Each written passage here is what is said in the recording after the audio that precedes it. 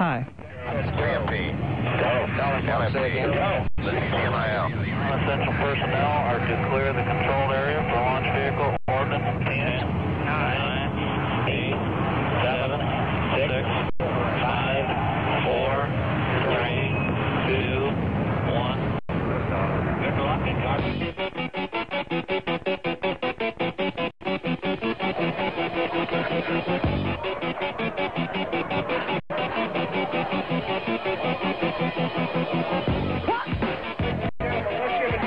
Hale Memorial Stadium, the site. Thanks so much for joining us tonight here on Super Talk 800 KREI. Chad Speaker, and great to be joined by Tom Willenbrink. And Tom, we're going to see, I think, one of the best class teams in Class 4. Farmington just outside of the rankings right now, but they're only lost to a Class 6 power. Poplar Bluff comes to town, an improving ball club, but a team still that uh, not in the winning side of things. One and four on the year. Farmington four and one suffered that loss against McCluer North last week, but uh, I think we're going to see a good ball game out of them this week. Good bounce back ball game. And for Poplar Bluff, they're going to measure their success by some of what they're able to do, even if they can't win tonight. Don't want to, of course, forecast a winner or loss yet, but th- that's where the two programs stand right now. Well, exa- you're exactly right there. And, the thing with Poplar Bluff is that, of course, they come into this game with a one and four record, and they're coming into Farmington's uh, uh, crib right here, and you know, really, what do they have to lose? I mean, they, I mean, I mean, the big key for them is going to be coming out and showing that they can hang with Farmington early on. Now, on the flip side of the ball, Farmington last week uh,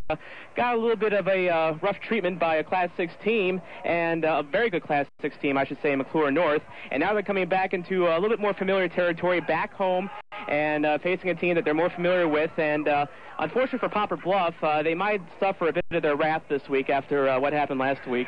Third member of our team, Kathy Capias, back at the studio. We always appreciate her great work engineering and operating our games. We'd like to thank Colton Steakhouse. They uh, gave us some fuel for the broadcast tonight. We appreciate them. And a little grill, uh, a little Colton Steakhouse and Grill football throwdown. We threw down some Coltons before we came out here. And where else can you get uh, steak? Peanut lovers go to town, throw it down, not have to clean up the mess. So thanks to Colton's, and uh, also uh, thanks to uh, Jack Han of Colton's for taking care of our sports crew tonight. We the captains meeting at midfield, and uh, we will return with more of your pregame show. And here just a, a few moments from uh, Coach Todd Vaughn right after this 30-second pause right here on KREI and our friends in Poplar Bluff as well, KLID. If you're looking for those hard to find craft items, then look no further than Red Rooster Crafts and Supplies in Farmington. They offer what the big chain stores don't. In fact, if you don't find what you're looking for, Tracy will be glad to order it. Plus, Red Rooster Crafts offers custom picture framing and lots of new home decor, including nautical, western, Americana, and rooster themed items. Check out the new line of cookie cutters and home decor outdoor flags. That's Red Rooster Crafts behind the post office in Farmington.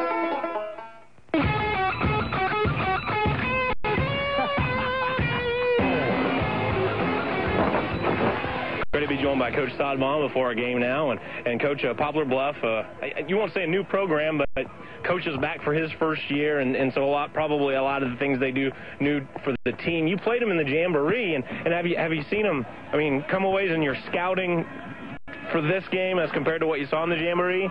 Yeah, I think so. You know, they're obviously way more confident and familiar with what they're doing, and and uh, I think they, you know, we because we played New Madrid in week two, and New Madrid played Bluff in week one. We kind of had that film too, and I think uh, they've progressed throughout the throughout the season so far, and they've improved. And you can tell that they have a plan, they have an idea of what they want to do, and um, if they, you know, come out and eliminate, eliminate the mistakes, they'd be really good. They, they make some mistakes, but they do execute pretty well, though. Yeah, following your first loss, was it kind of business as usual at practice? Did, did you see the guys crank it up in intensity? What was there a difference? How, how'd the week go? You know, I'll be honest with you. It it, it was another week. Yeah. Yeah, our kids were focused. They came out. We had a, we had a good film session on Sunday, and we evaluated ourselves. And, I had a great practice on Monday, Tuesday, and Wednesday, and finished up yesterday with a good one. So. Uh, it's you know it's kind of I guess business as usual. Our kids are excited that uh, we you know not that the first five games didn't matter, but this is really the first game that matters. We're playing conference play tonight, and it's a good way to, to hopefully we'll get started in conference in the 1-0. Uh, Coach, uh, uh, to me, obviously you comb through the film so you can see, and you even told me you could see, but it's hard for a guy like me to notice weaknesses when you're just drilling people. What were some of the weaknesses maybe that you addressed that you were able to maybe discover last game?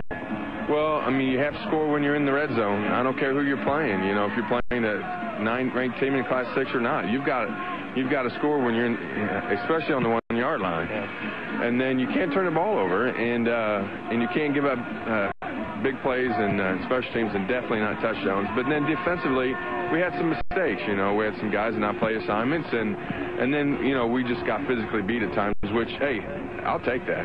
And that's Todd Vaughn and his thoughts before our game.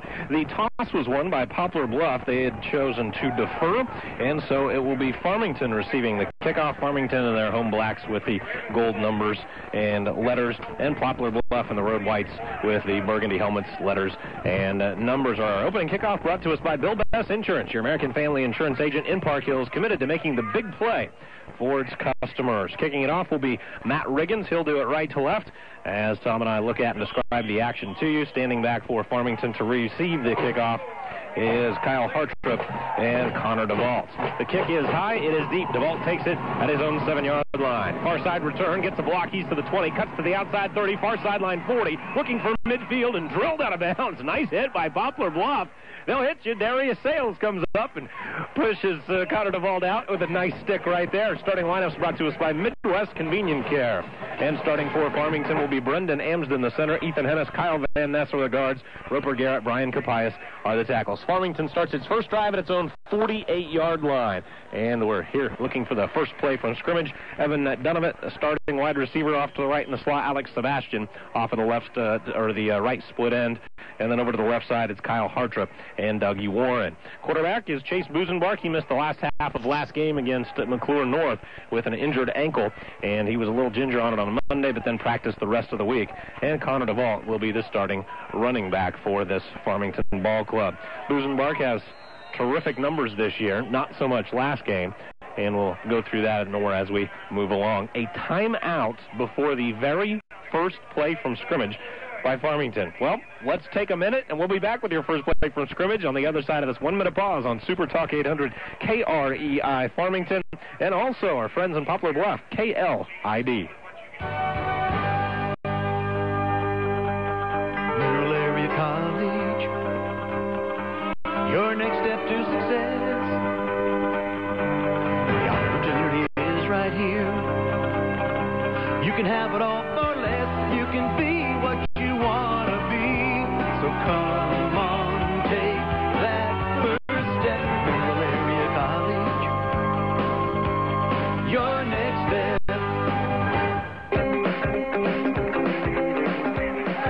the studio by Kathy Capias. Appreciate her work uh, tonight and every Friday night. Chase Busenbark, the quarterback, he's back in the shotgun. Quick pitch, left side. Connor DeVault looking for the corner and turns on the motor, then spun out of bounds along that far sideline. Man taking him out. Austin Goodrich getting that start at safety with the injured Nick Patello. Broke a collarbone and looks like he's done for the year. But a nine-yard gain by DeVault, and Tom immediately you see that good speed of Connor DeVault. Good speed and good blocking as well. They gave him a big avenue to run, and uh, he just turned a corner and uh, did a lot of the work himself. Midwest Convenient Care will bring us a starting defensive lineup for this Poplar Bluff Ball Club coming up in just a moment. So to the outside, Austin Goodrich made a nice tackle. Here's uh, Luke Lotterette making the tackle on the inside, and it's a one-yard loss for Connor DeVault right there. So some toughness by this defense shown on the second play. The nose guard, T.J. Williams, he's 325 pounds. Good, good luck moving this guy. Jacob Sliger, Sean Sisney are the tackles. Darius Sales, Jake Lotterette on the outside are the ends. Linebackers Cody Fromm and Lorenzo Daly. Third and two for Farmington. Busenbark gets the snap, quick pitch, right side. DeVault ducks behind a blocker, and he's stopped. Nice work by this defense. A couple of impressive plays in a row. And that's a nice job getting there by Jacob Sliger, six foot, 225, and just a sophomore. As DeVault is stoned on that one, no gain, and quickly Farmington right back to the line. Looks like they want to go for it. It's a fourth and two. So quick roll the dice here early on. Jake Pulliam, Kimball Miller, the corners, Brian Hicks, and Austin Goodrich are the safeties for this Poplar Bluff team. And a pass is complete across the sticks. Doug Warren ran a curl route five yards down the field, and Chase Busenbark hit him right between the eight and the eight and Farmington faces its first test of the game, a fourth down near midfield, and they passed it with flying colors. Yes, the first pass of the game uh, goes for a first down, and, and of course on fourth down, always good to get that first down, especially when you're so close, and uh, just a good pass and catch. 10 minutes, 37 seconds, and counting down in this first quarter. Nothing, nothing game. Farmington hosting Poplar Bluff tonight. Busenbark throws it on a curl route and a terrific catch by Alex Sebastian right there. Sebastian took it right away from the cornerback. That was Kimbrough Miller right there with him. Miller read the route well, and in fact, Busenbark threw it closer to Miller yes. than he did Sebastian, and Alex made a great catch. Yes, it was, and Alex uh, having the awareness to see that that ball was heading right towards the cornerback, coming right back and grab, uh, grabbing that ball, and now we got second down and, in about two. All right, so DeVault, the lone running back here, he'll run a flare route off to the left side, and they'll throw it on that bubble screen over to Doug Warren. Warren turns on the motor. He's crossing the 20 down to the 15 and shoved out at the 13-yard line, and it is a gain of 18 yards, but there's a flag on the play. Yeah, flag on the play, and looks like it's uh, near the line of scrimmage. That's usually in the vicinity of holding. We'll see what they call here. Sometimes they call it that holding box, and there's yep. why. Yep, there you go, right there. And uh, and of course, you know, uh, Warren, uh, you know, despite despite the play being called back, uh, he also turned on the guns and uh, made a nice play himself. But sometimes, whenever you see them, you know, getting all that space to run and a big game like that, sometimes there is a little holding there. So. Well, I think you're really going to enjoy watching Doug Warren play, Tom. 6'4", 200 pounds, mm-hmm. runs, has hands, can leap. Really a, a nice athlete for Farmington. Yeah, he is, and uh, and also Busenbark looking pretty sharp here early on as well. Sure is. Quad receivers to the right side. Man on the island over to the left, it's Doug Warren. It's a second and seven for Farmington, as that was a spot foul on the hold. Snap back to Busenbark, looks to Warren, now tucks it and goes. Boy, that ankle looks pretty good right now. Yeah. And Busenbark picks up 11 yards. Busenbark said it was an old injury. He had an ankle injury and had a bone kind of chip off when he was young. And he said it was something where he felt like it was a reoccurrence of that when he got hit. And Monday he was limping a little bit. Tuesday a little bit better. And uh, and, and Coach Vaughn said by the end of the week looked like Chase again. Yeah, and he had good presence of mind there to take that scramble. He's got some wheels himself. I mean, he's he's not afraid to run the ball either. And as you said, I didn't see the injury. First and ten, and they've got it at the 24-yard line of Poplar Bluff, and the pass complete off to the left side by Hartrip. That's just a curl route. I'll tell you what we're learning here early on as Darius Sales delivers a good hit. This is a physical Poplar Bluff ball club. Yes, it is, and uh, you got to give credit to uh, Coach Mark Barouse for uh, instilling a little bit of that confidence that Poplar Bluff's been lacking the past couple years. We talked to him before the game, and uh, it seems like that he's got this program on track. You bet. Alex Sebastian wide to the right side, and they are they have three wide receivers on the left side. Jet sweep as DeVault gets it on the handoff. Connor puts the head down, slams over a man. And he pushes forward for a seven-yard gain. First time we've seen that jet sweep. Yes, and uh, that is a big that is a big part of the Farmington offense. I know that, and uh, and uh, what we're seeing out of Con- Connor DeVault is just good vision. I mean, it seems like that he's he's not content to just to take what he's given. He'll look for that hole and uh, he'll take it. First and goal just inside of the 10-yard line, so won't be able to get a first down before they get a touchdown. DeVault, the keeper this time. The mesh point had a little stoppage right there, and then Busenbark leaves it in his belly, and it's a gain of three yards for Farmington and he was brought down by that big nose tackle, T.J. Williams, the uh, six foot four, 325 pound junior, and uh, and the ball looked like he he maybe if it was a smaller guy, he might have been able to spin out of it, but uh, Williams with a good wrap up tackle, and now we got second down. Yeah, that guy, that T.J. will swallow you whole. Yeah. Here's a oh they marked it back just a little bit, so it's a second and goal from the eight. So it looked like they initially marked it as a three yard gain, now a two yard gain, and they bluff it this time to DeVault. It's a keeper by Busenbark, cuts back at the five, pushes forward to the four, and there's a gain of four yards by Chase Busenbark. Chase with a couple of carries in this one and 15 yards rushing. And at the 8:15 mark of this first frame, Farmington looking at a third and goal from the four-yard line of Poplar Bluff. Got a nine-play drive so far. Started on their own 48. And uh, Farmington moving the ball fairly efficiently here to start off the game. Two wide receivers to each side, and the man on the far left side, Doug Warren, they like to throw it up for him in the end zone. Busenbark keeps it, stumbles forward to the five-yard line. He is shut down by Jake Lotterette. Jake, 5'9", 180 pounds, but this kid plays defensive end, and he's already racked up 43 tackles coming into this game. And he's got a very high motor out there, too. Uh, he uh, initially missed the tackle, but he just kept with it and kept with it, and he took Busenbark down. And now we're going to see the field goal game, team come out here, and we were told uh, before the game that Logan Bradley's been a little ill, and he might not be doing a lot of kicking, but here he is. Here he is, 21 yard field goal try by Bradley. Swings the right leg, and Farmington has the lead. 3 0. First good field goal for Bradley on the season in his second field goal try. 7.24 remaining in the first frame. Farmington on top 3 0. And we've got your kickoff coming up next right here on Super Talk 800 KREI and KLID Poplar Bluff.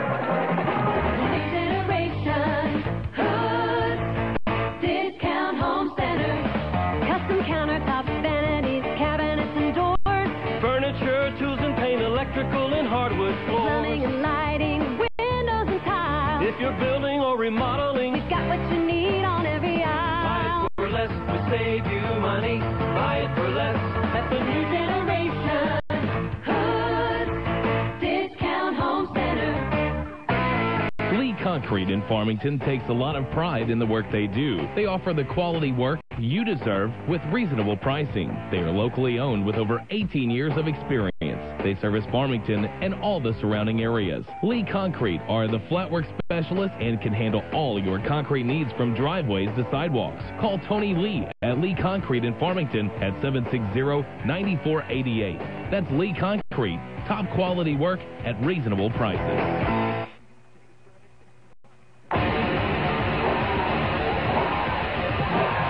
Brian Hicks, the deep man for this Poplar Bluff return team. And there's Logan Bradley. He powers this thing deep and is taken by Miller at his own three-yard line. Miller along that far sideline across the 20 to the 25, driven out right there at the 30. And Tom, a good drive for Farmington in terms of yardage, but you know, tip your cap to Poplar Bluff. They stiffen at the end. Well, exactly. They uh, got to stop when it counted right there in the red zone. And of course, we talked to Todd Vaughn before the game. He talked about how getting those points in the red zone are so critical. And, and a touchdown would have been nice, but they did get the field goal. And it's good to see that Logan Bradley's doing okay uh, as that drive went 10 plays uh, for a total of 44 yards.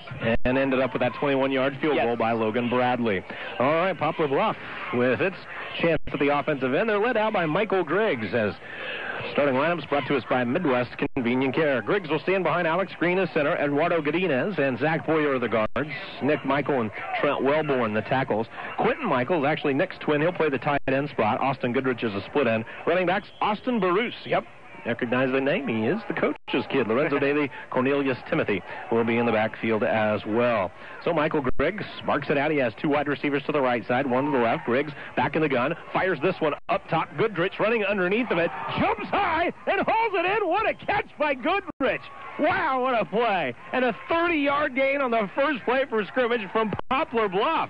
And that was just size, size, size right there for Poplar Bluff. Very first play of the game, going deep on a bomb. And that was a good jump and catch by Austin Gersh, a 6'3", 185-pound senior. And now Poplar Bluff is in Farmington territory. My Goodrich, he could have slammed dunked that thing. He was so high. I know. What a play. Darren Yunt, the wide receiver to the left side. It's keeper by Michael Griggs, the quarterback. He gets into the middle of the whole mess, cuts back, and then spun and driven down. That's Jared Sumter finishing him off right there. Gain of a yard by Michael Griggs. The starters for Farmington on the defensive side, Kyle Van Ness is the nose guard. Ethan Hennis, Jared Sumter are the tackles in the ends. They'll line up as ends and tackles. They'll slip around a little bit. Roper Garrett's in the middle of the linebacking corps. He's flanked by Ryder Garrett, his brother, and Brian Capias. Our stud position, manned by Connor DeVault, Logan Bradley, the knight position. They're kind of outside linebacker, cornerback hybrids. Then it's Chase Busenbark, Kyle Hartrip at the corners, and Kyle Warren is the safety. A second and nine option play. Left side, Griggs pitches it out, and it's cut back, driven out of bounds. And the running back there, Cornelius Timothy. Pretty good mesh point there by Michael Griggs, though. I thought he made a nice decision right there. Took it right into the teeth of that defense and then pitched it for a four-yard gain by Timothy. Oh, absolutely, and uh, and also a good job by the Farmington defense as well to stay with that option and uh, not give uh, the running back too much room to uh, room to run. Poplar Bluff's only run a few plays, Tom, but already they're showing great variety with this offense. Yeah, they have, and I uh, gotta give credit to. Uh, to, to Coach Perez for uh, for for the creative offense. Timothy, lone setback. They'll fake it to him. Griggs going to run the keeper. Griggs is down to the 30, closing in on the 25, thrown out of bounds by Roper Garrett. But he's showing some good quickness there. And a gain of nine yards. Michael Griggs. Yeah, Michael Griggs has come out to play tonight. Also, too, for Farmington, that's uh, at least the second or third time we've called Ryder Garrett's name just on this drive alone. He's been uh, staying with them and uh, and uh, trying to keep this offense from uh, doing too much damage. But Poplar Bluff, they're putting the pedal to the metal here early on. They really are. It's offense uh, gaining only a modest 220 yards per game, scoring less than 17 per game, but they look sharp here so far. And that's the handoff to Lorenzo Daly. Daly slides through his guards that time in the middle of this offensive front, opening up a little seam for him right there before he's shut down after a pair. Yeah, and it was a good job at the Farmington linebackers and secondary to get in there and close that hole. And it was a very wide hole that the Poplar Bluff offensive line created for him. He had, you could have driven a boat through that hole that he had, and uh, Farmington doing a good job at uh, with the point of attack there to stop him from going any further. 5.20 remaining in the first frame. 3 0. Farmington on top. Knocked in a 21 yard field goal to take that lead. And now here's Lorenzo Daly once again. He is hit once and twice before he got to the line. Then, as he danced past the line, he put it on the ground. And Farmington's got it on the turnover. Some four turnovers by Farmington last week against McCluer North. That's hard to get it done against most teams. Uh, Especially a very good one like McCluer North, and Farmington would like to win that turnover battle here tonight. And so far, well, plus one for Farmington. Yes, and that is a good start for Farmington, uh, winning that turnover battle. And uh, and I didn't see who came up with that ball. It could have been a few players, but uh, uh, Farmington uh, doing a good job to get the ball back here and averting uh, what could have been uh, some Poplar Bluff points. Yeah, you're right. So Chase Busenbark leads him out. He's got Connor DeVault beside him, three wides to the right side, one man off to the left. They love to isolate Doug Warren one on one and then throw it up top for the rangy 6'4 wide out. So Busenbark looks over to the sideline, running that check with me offense from the spread, puts his hands down, steps it, snaps it, and flips it out to Warren. Doug out to the 25 and a gain of three. Yeah, they like to uh, have Warren kind of create his own magic out there with those little short passes and screens, and that time didn't work out too well for him. But uh, a lot of times, more than not, Warren will use his size and his speed to his advantage to uh, to break those tackles. Good motor that time by Jacob Sliger to get out and help on that tackle of the split end from the tackle position.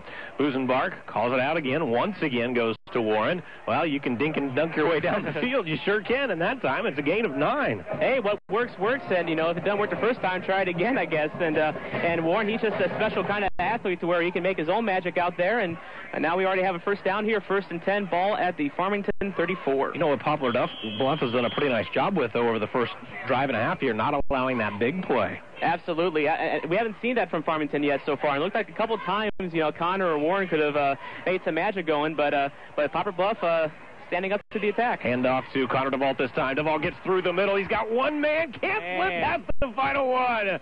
It's a gain of 23 yards for Connor DeVault. Oh, Connor looked like he was off to the races there, and it was just, it wasn't even a man, it was just an arm getting in his way to kind of wrestle him back a little bit for the rest of the defense to catch up. But Connor DeVault, he's, he's, he's got his motor going tonight. There's the big play we were talking about. Yes, huh? yes, there we go. Could have even been a bigger play, but Poplar Bluff stopping him. First and 10, Farmington and Poplar Bluff territory now at the 44 yard line of the Mules. DeVault gets again, and this time DeVault runs into a whole mass of humanity. That's Jacob Sliger there to help finish him off. And uh, Darius Sales in on that one. Also, TJ Williams, a big guy that you brought up early. No gain for Connor.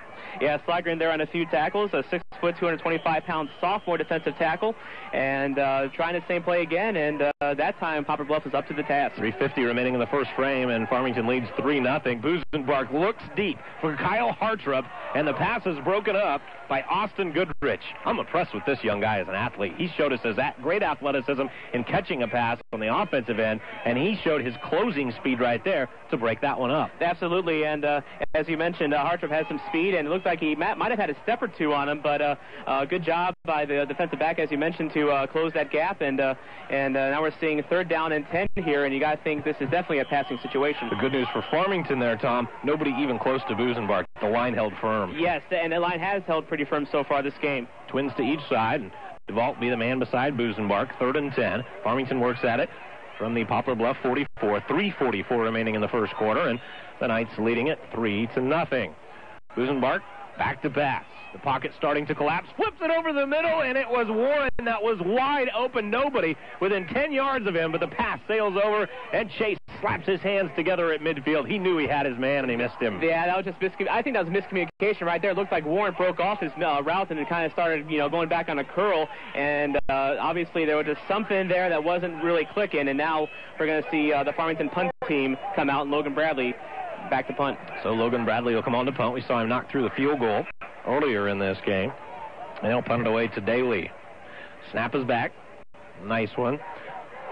And this thing goes up the silo, turns over, and comes down. A spiral. And Daly's driven down inside his own 20 yard line. Boy, there's Logan Bradley. And I mean, that's what a college punter looks like right there, Tom. Oh, absolutely, and uh, he has just been he, he's he's been you know great kicker as well too all season long. He's got a big foot, and and and, and as Bob Vaughn mentioned to us before the game, he's been playing uh, he's playing with an illness right now, and he's and he's still out there gutting it out, and uh, you got to give him a lot of credit for fighting through whatever's ailing him. Talked to Coach about possibility of Bradley maybe kicking at the college level, and he said, you know what? I think he's a good enough baseball player. I think he's probably going to play baseball. So good for him. Always nice to have options. You bet it is. And twins to the right side, and now they'll go off to the right. A timing route, and then that one intended for Goodrich, and they hit Pater earlier with that play, but at that time Griggs overthrows him to the far sideline. 3 nothing Farmington, and Farmington, Tama Ball Club, averaging 41.6 points a game. And we've got less than three and a half to go in the first quarter, and the Mules have held them out of the end zone so far. Yeah, they have, and uh, you got to give them a lot of credit. As I mentioned, you know, uh, one of the keys for Poplar Bluff coming into this game was trying to match up with Farmington and show that they can belong. And so far, it looks like they definitely belong out there on the field. Trent Udaly, the wide receiver, off to the left side. Darren Yunt is in, the, in there as well. Quarterback runs the keeper. Griggs going far sideline and runs away from Connor DeVault and out of bounds. A gain of six yards from Michael Griggs. Yeah, Griggs is a lot like uh, Busenbark in the fact that he'll also take the ball down and run with it himself, and he's he's shown some ability to uh, to, to, to just you know make a good decision when it comes to throwing or passing. He'll just go ahead and take off, and uh, he's he's proven to be successful tonight. Senior, six foot, 165, 318 remaining in our first frame, and a 3 nothing ball game is Farmington on top. 21 yard field goal from Logan Bradley, the difference in this one, third and four. Poplar Bluff football. They'll deploy three wide receivers off to the left. They'll use that tight end as well. Quentin Michael's a good one. And now a handoff right up the middle, and Lorenzo Daly danced through one tackle, down two, breaks to the 40, cuts back to the 45, finally ridden down by Ryder Garrett, but not before he gains 23 yards and a flag at the end of the play. Yeah, flag at the end of play might have been a late hit there. I'm not sure. We'll see. But Daly might want to check to make sure he wasn't dipped in grease before that run because he was slippery out there. I mean, he broke at least three or four tackles out there, and that's just uh, that's just a slippery running there by Daly. And uh, we see the penalty goes uh, against Farmington for a face mask. Face mask on Farmington, so they'll walk off five more yards. They didn't call the personal foul variety against tonight. So we'd Yeah. like to thank uh, a few sponsors as we move along. Captain D's of Farmington, ProCare Automotive in Terre, Benning Ford in Fredericktown, Earth Mother Health Foods, and Belgrade State Bank in Desloge, Farmington, Potosi, and Belgrade. Here come the mules. These mules aren't so slow. No, they aren't. Twins to the left side, one wide to the right side. Michael Griggs back to pass. Flips it down the left side of the field. A long pass, and this one is jumped and caught. What a grab. Poplar Bluff has done it again, and that's Brian Hicks going high for the grab all the way down to the 20-yard line. A gain of 40 yards on the play. The 5'10", 165-pound senior coming down with that grab, his first catch of the game. And we saw uh, on, on that there, looked like that once the ball was thrown up in the air, he kind of turned on an extra gear or two there and uh, actually earns a little bit of separation from the corner. And uh, good job to haul that one in by Poplar Bluff. And again, Poplar Bluff now knocking on Farmington's door. Griggs fumbles the snap and then dives down to cover it up. A flag on the play as well. But Poplar Bluff, Tom, has thrown three passes, one incompletion. They've got a 30-yard and a 40-yard gain. Hey, that's uh, and if you're coach, uh, and if you're uh, uh, head coach of Poplar Bluff, I mean, you got to be happy with with the way that you're seeing your offense work tonight. I mean, I mean, they've shown uh, the ability to run the ball as well as throw the ball as well, and looks like this is going to be a false start here on Poplar Bluff, and and it's almost kind of ironic that there was a little bit of a fumble there because this was the exact same hmm. point in of the field that Poplar Bluff had their fumble the first drive. Got that right, Tom. A big play and then a fumble. And that's what Farmington is looking to do right now is toughen up that defense or maybe cause a turnover. But Poplar Bluff looking good. Lorenzo Daly grabs it and goes over the left guard. Nothing for him there this time. That'll be no gain on the play. And coming off the bottom of the pile, that's Roper Garrett, 6'2", 220 pounds, and this kid hands out headaches left and right. Oh, absolutely. He's been in there on a few tackles tonight, and uh, and now Poplar Bluff uh, now second and 15 here, and this will be the second time they've come close to the Farmington offense. And if you're and, and, and if you're a Poplar Bluff fan, you definitely want to see them getting some points here. With they got these great opportunities here in the red zone. They don't feel great about their kicking game, so they would rather, well, anybody would rather go for six, but Well, we they, won't, they won't stretch the field with their kicker a whole lot. Here's Lorenzo Timothy. This guy's got a motor to the 10, to the 5, diving for the pylon. Can't get there, but he's down to the 2. and it's a gain of 24 yards. Cornelius Timothy. And Roper Garrett there on the tackle. Again, good hustle by Garrett to get all the way back there because it looked like that he was off to the races for sure. And I think that's the first time we call Timothy's uh, name tonight. And uh, he makes his uh, first touch count. Cornelius Timothy. Boy, he showed some speed right there, and they're going to keep him in. They said, well done, young man. Why don't you try it again? So Timothy's going to wind up behind Griggs. Griggs is going to come under center right here. First and goal for the two. Griggs just kind of huddles down beneath that line. Push, push, push. Trying to power for the end zone. The officials all come in. All the Poplar Bluff signal players signaling touchdown, but the official says, nope, you're going to have to try it again. Yeah, it looks like he tried to have he had some help back there. People, uh, his own teammates trying to push him into that end zone, and uh, and uh, Farmington winning the war of attrition. And we talked before the game uh, about the size difference between Farmington and Poplar Bluff, and they're both pretty evenly matched up as far as uh, Farmington's defensive line and Poplar Bluff's offensive line. Pretty even, a 26 uh, per man pound advantage, defensive or offensive line for Poplar Bluff. So they've got a little advantage there. Let's see what Griggs is going to do. Is he going to try to push it in again? Nope, he hands it off, this time to Daly. And Daly is slammed down to the ground. That's a loss of a yard that time as the Farmington defense stiffens. Ethan Hennis with a nice tackle there. A 5'6", 180-pound junior coming in there, breaking through that offensive line of Poplar Bluff to, to drag him down by the knees. And that's just the textbook tackle right there. You go for the legs. Cornelius Timothy checking back in. He was the running back that had the big play earlier. Brian Hicks, he caught that ball. That was a nice play down that left side. And the quarterback going to go back to the gun once again. Michael Griggs. Griggs cuts back to the middle of the field. Hit once, hit twice, and taken down in the backfield. Wrapped up right there by Alex Sebastian. Yeah, Alex Sebastian coming out there to help out on defense and ended up losing a few yards there. So now we got fourth down and about six. Poplar Bluff, uh, they have a decision to make here. Do they trust the kicking game? Well, they had it. They didn't just have it to the one, Tom. They had the nose of the football right on the goal line, and now they're facing a fourth and goal from the five. 22 seconds remaining in this first quarter, and 12 seconds remaining on the play clock. So they'll either have to take a timeout or run a play before the end of this first quarter. Three to nothing. Farmington leads. And it looks like Bruce here is going to probably take a timeout here to try to figure out exactly what they do want to do here. So uh, Farmington, big stand here coming up possibly. Big play coming up. We'll tell you about it on the other side of this 30-second pause. Thanks so much for joining us for Farmington and Poplar Bluff football tonight on KREI and KLID. This is Mary Lee, owner Earth Mother Health Foods. Did you know we're the largest, most complete health food store in southeast Missouri? You know, if you're feeling tired, maybe you need to be on a good vitamin. We invite you to come into Earth Mother and get a free sample of the vitamin that you can feel the same day you take it. Now, stop by Earth Mother Health Foods. We have 3,500 square feet of products to meet your health care needs. That's at Earth Mother Health Foods, 220 East Harrison in downtown Farmington. 573 756 7852.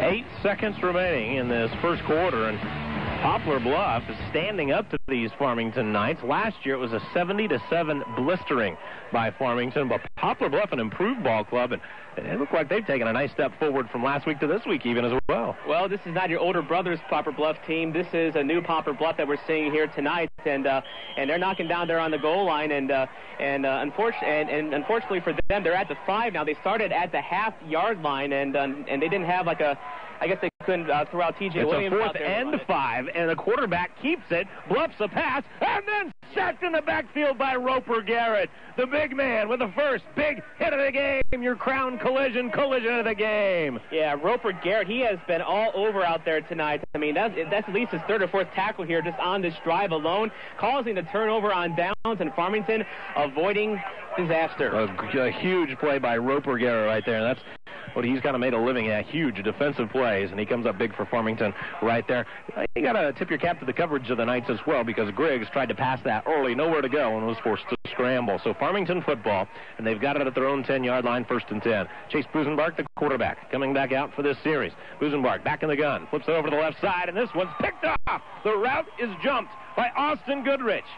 Austin Goodrich. I beg your pardon, it wasn't Goodrich, it was Kimbrell Miller. I beg your pardon. Kimbrell Miller has the interception, and Tom, that's the third time we've seen a near interception, and that time it happened. Yes, it was, and, and we, we called Goodrich's name a lot tonight, you know, in that category, but, but this time Miller coming up here with a big interception, and I do mean big because this gives Poplar Bluff some very rosy field position on the Farmington, they're going to call it the 14-yard line. And it was on the final play of the first quarter. So we'll be back with your second frame as Farmington trying to hold on to a 3 0 lead against Poplar Bluff. We'll tell you more in a minute. It's Sam Scism Ford Lincoln model year and closeout. Right now you can get 2011 Ford Fiestas, Focus, Fusion, Mustang, and Taurus at 2011 closeout prices. Plus, Sam Scism has SUVs and crossovers too, like Ford Escape, Explorer, and Edge. When you think Ford, think Sam Scism Ford Lincoln, the trusted name for Ford and Lincoln for nearly 75 years. That's Sam Scism Ford Lincoln off Highway 67 between Park Hills and Farmington.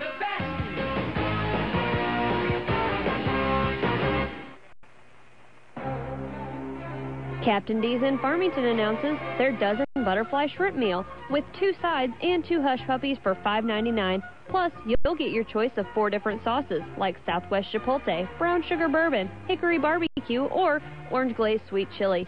What are you waiting for? Get to Captain D's across from the Family Center on Highway 221 in Farmington. For food you just gotta have. That's Captain D's, Highway 221 in Farmington. Michael Griggs puts three wide receivers off to the left side, then runs the bluff on the jet sweep to the left and keeps it himself. Nudges forward for a four-yard gain, and Poplar Bluff knocking on Farmington's door yet again. Yes, starting on the uh, Farmington 19-yard line off the interception. Farmington getting the ball right back on the turnover on downs. A nice tackle by Roper Garrett, but the first play, the interception, as uh, the Poplar Bluff secondary is looking really good tonight. Chase Busenbark, too. He's got some good numbers this year. Chase has passed for nine touchdowns, and that was only his third interception of the year. So you have to earn it against Chase as Griggs keeps it again, fakes the handoff, and that's is that Garrett Roper once again bringing I- him I- down, or was, actually no, that that is- Logan Bradley? Logan, Logan Bradley coming in there. Yes, the uh, the ill man on defense coming through and uh, and uh, stopping Griggs on the play, but not before Griggs ended up uh, getting right it back to about the line of scrimmage, maybe a gain of a half yard. So another third in, in uh, I, I guess you'd call it long. Third, long six, short seven. Take your pick. And the ball is resting on the 10-yard line of the Knights. Twin wide receivers off to the left. That's Hicks and Dowd. And one man is off to the right side. That's the dangerous Austin Goodrich. Cornelius Timothy, the lone running back. And Griggs fires this one to the end zone, diving up to try to grab it. A great defensive stop as Hicks jumped up to try to grab it. And the man on defense, was that our tackler, Logan Bradley, out That, there? that was Logan Bradley out there breaking up the pass on a on a fade route, trying to go for that back corner of the end zone, and uh, Logan Bradley just uh, all over that one, and uh, did not give Hicks a chance to come down with it. So now fourth down and ten, and looks like again we're going to see uh, we're going to see a fourth down try here by Poplar Bluff. Great couple of downs by Logan Bradley, huh? Oh yes, yes, absolutely. Twins to the left side again, Dowd and Hicks. And I'll tell you what, Griggs threw that thing perfectly, but Yeah, Bradley just made a great play.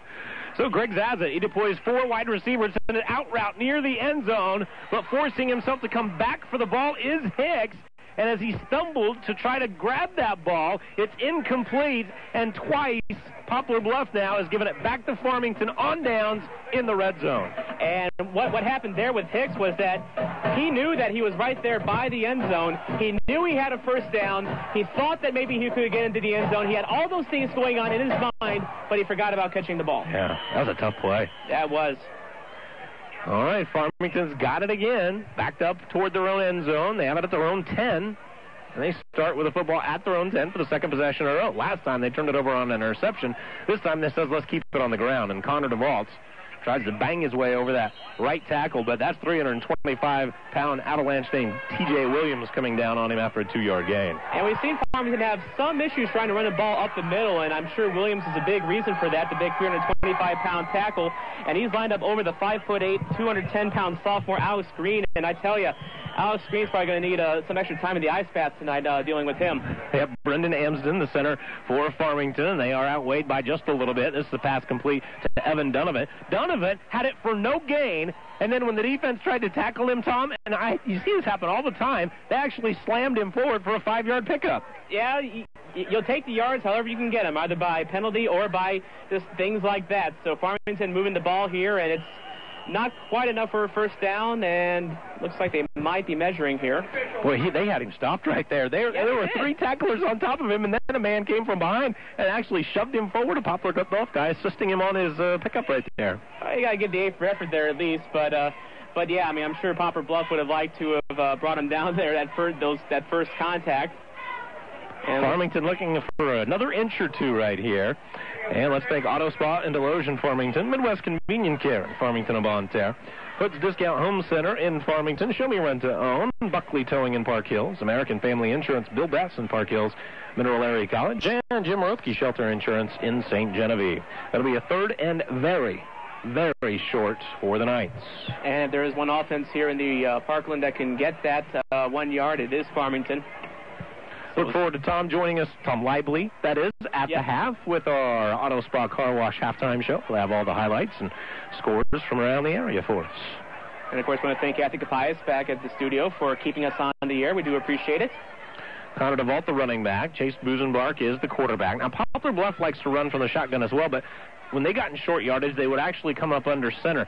Farmington doesn't do that. They'll go exclusively from the gun, and Busenbark is back in the shotgun with just about an inch remaining on this third and very short. Hands it off to DeVault. Connor's got a first down and more. Connor struggling forward and finally pushes the pile 10 yards down the field. What a play by Connor DeVault. Yeah, what a play indeed. DeVault not satisfied just to get that one yard in a cloud of dust. He ended up getting about five yards before the first contact was made, and then we just saw him drive and drive and drive and drive and push that pile back for another five yards after that. So now Farmington moving the ball here. They got the ball on the 30-yard line. Connor, the leading rusher for this team on the year. The guy averages 66 yards per game. He's above that pace right now. Roll to the left side and a nifty roll by Busenbark, who is very good throwing on the run as he completes this one to Doug Warren nine yards down the field. And a good job by Doug Warren on his route there. Uh, just a simple uh, cut cut in route here. He went out and then he cut back in on a curl. And uh, Warren doing a good job uh, concentrating, bringing that ball in, and uh, not quite enough for a first down, about a yard and a half short. But Farmington moving the ball. Nine minutes and eight seconds remaining in the second quarter. We've got a three nothing game. It's a thriller here in Farmington tonight. The mesh point is to DeVault this time. Needed to and got to in the hole. The man that tried to stop him, Lorenzo Daly. He plays that linebacker spot, a little bit undersized at 5'9", 165, and DeVault just overpowered him for the first down. Absolutely. And ball, we've seen him tonight. He's not willing to go down on that first contact. And uh, we saw him again to drag, drag, drag the guy for another couple yards there. So DeVault with a high motor tonight, and uh, Farmington uh, got another first down. So the line of scrimmage moves out to the 42 for Farmington. They work it from their own side of the field. Busenbark back in the gun, barks it out. Now looks over to the sideline. We'll check with me over there. 8:48 and counting down in the second frame. Farmington has not reached the end zone yet. It's a three nothing lead. Farmington with that lead with its first field goal of the season by their kicker Logan Bradley. Busenbark has all day to throw, fires it over to the near sideline, and this one is out of bounds. An amazing leaping grab by Kyle Hartrip. He actually jumped out of bounds, tipped it with one hand, and pulled it in with one hand. An incredible catch that won't count. Well, what, what way to keep it in the play at least? I mean, you want to, you know, keep the effort going. But we saw there again, Busenbark with a lot of time to throw, and he did have some pressure coming off the uh, far end by Lake Lotterette. And a good job coming back and chipping in with the block by Ethan Hennis, seeing that Busenbark's blind side was at risk. Second and 10 now. Quick pitch, right side. DeVault has to cut back, and the inside pursuit can't trap him either. Connor plows forward for an eight yard pickup. That's just right decision making. I think running backs, you love power, you love speed, you love cutback ability, but one of those factors that is hard to measure, but you see it on the field is vision, Tom. Vision, absolutely, and Connor definitely has that. We've seen him a few times, you know, tr- trying to take what he's presented, but then he'll just make lemon out of lemonade, or lemonade out of lemons, actually. a a roll to the left side. Busenbark keeps it. He's going to cut back to the right side. Got a little room. Midfield now to the 45. Cuts again to the 40. Busenbark dives to the 35 yard line. A gain of 15. And another guy that has a little vision there. That ankle looks pretty good. I was just going to say, what was it we were talking about? Vision right there. Busenbark going one way, cutting back to the other, seeing that he was going to go absolutely nowhere, and creating his own magic out there. And uh, another big game by Busenbark. He can throw it and he can run it. You know, it might not have gone where it was originally designed. The hole wasn't there. But what the blockers did, even though they didn't open up the original hole, they kept blocking, and that gave Busenbark a chance. The line had vision, too. You gotcha. It's uh, first and 10 at the 35-yard line of Poplar Bluff. This is a design keeper this time by Chase. Chase breaks a couple of tackles, now lowers his shoulder on a man, runs him over, and he's got an 11-yard gain. 11-yard gain by Busenbark, and uh, coming off about a 15-yard gain beforehand, uh, Busenbark already making his uh, stamp on the game so far. And, and again, got to give credit to the offensive line for giving that hole to run through. You bet. 142 yards coming in for Chase, and he's got 41 in this one alone. Here's that diamond formation. It's a bunch formation with four wide receivers wide to the left side. The lone man on the right is Doug Warren. They love to throw to him when he's all by himself. They'll also like to throw to Kyle Hartrip. He'll step back in this formation, but now they look for Warren. Now they look to the middle of the field. Donovan's wide open in the end zone. Touchdown! A 24-yard touchdown pass. Chase Busenbark to Evan Donovan. The fifth touchdown catch of the year by Evan Donovan, and the 10th touchdown pass by Chase Busenbark, and the line gave him all night to deliver it. Absolutely.